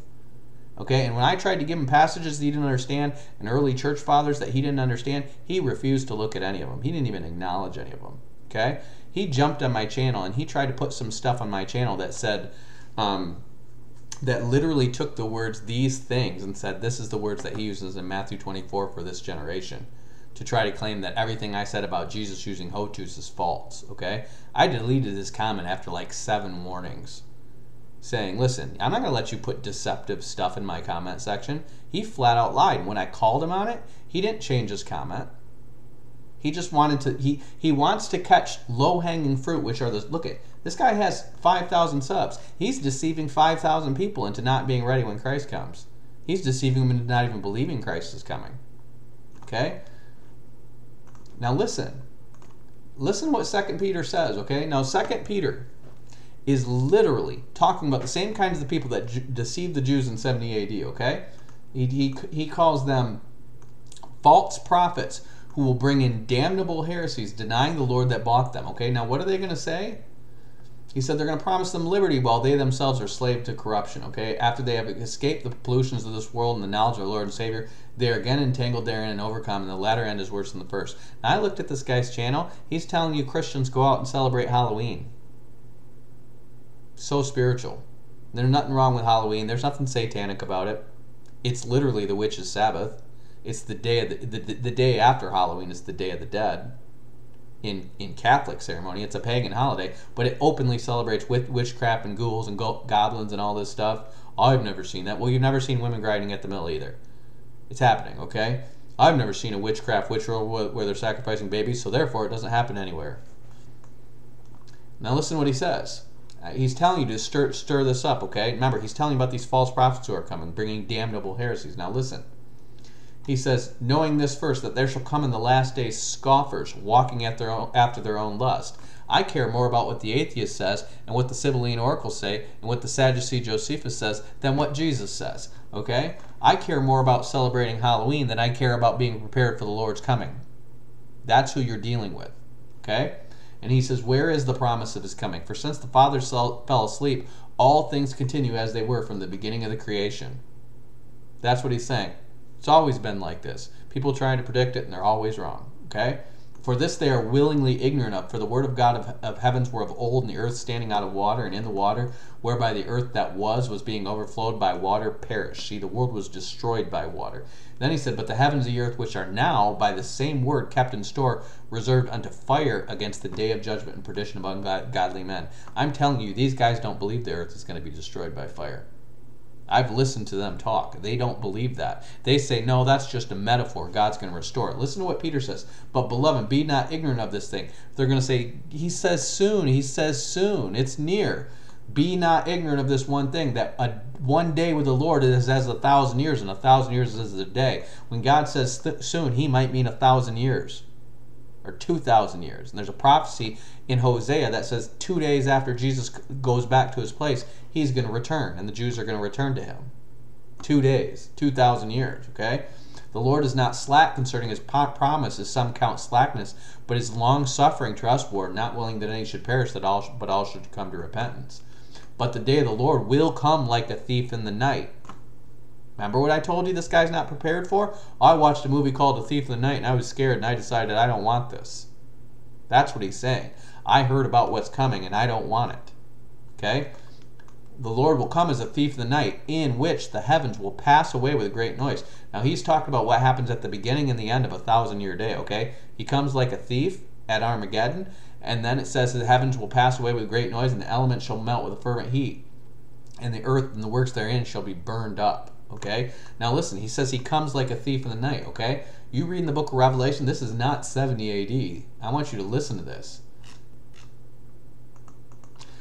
Revelation 15, 16. Now listen, he says, Behold, I come as a thief. Blessed is he that watches and keeps his garments, lest he walks naked and they see his shame. Okay? He says you need to watch. You need to be looking for the signs that Jesus commanded you to look for. Now listen what he says to Revelation in Revelation chapter 3. He says to the angel of the church of Sardis, he says, These things says him who says the seven spirits of God and the seven stars, and I know your works, that you have a name that you live, but you're dead. Okay? I want you to listen to what the Bible is saying about guys like this.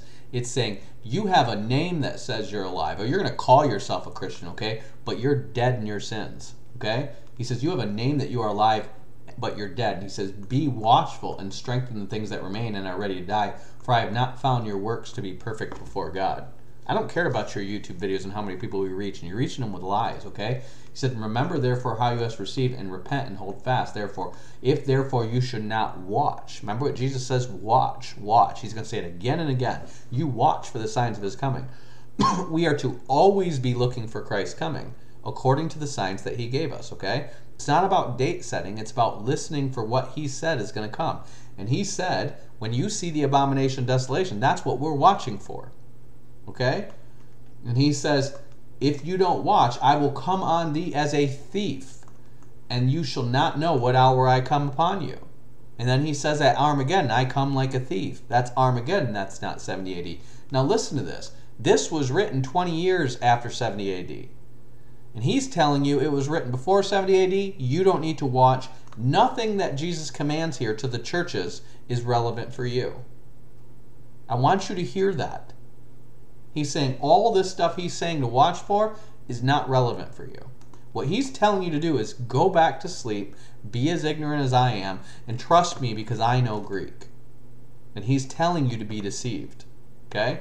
Don't listen to this guy. You need to shut him off. You need to shut him out. If he comes to you and criticizes you, you give him a warning. You say, You read, listen, listen to this. I'm not the first person who's told this guy this.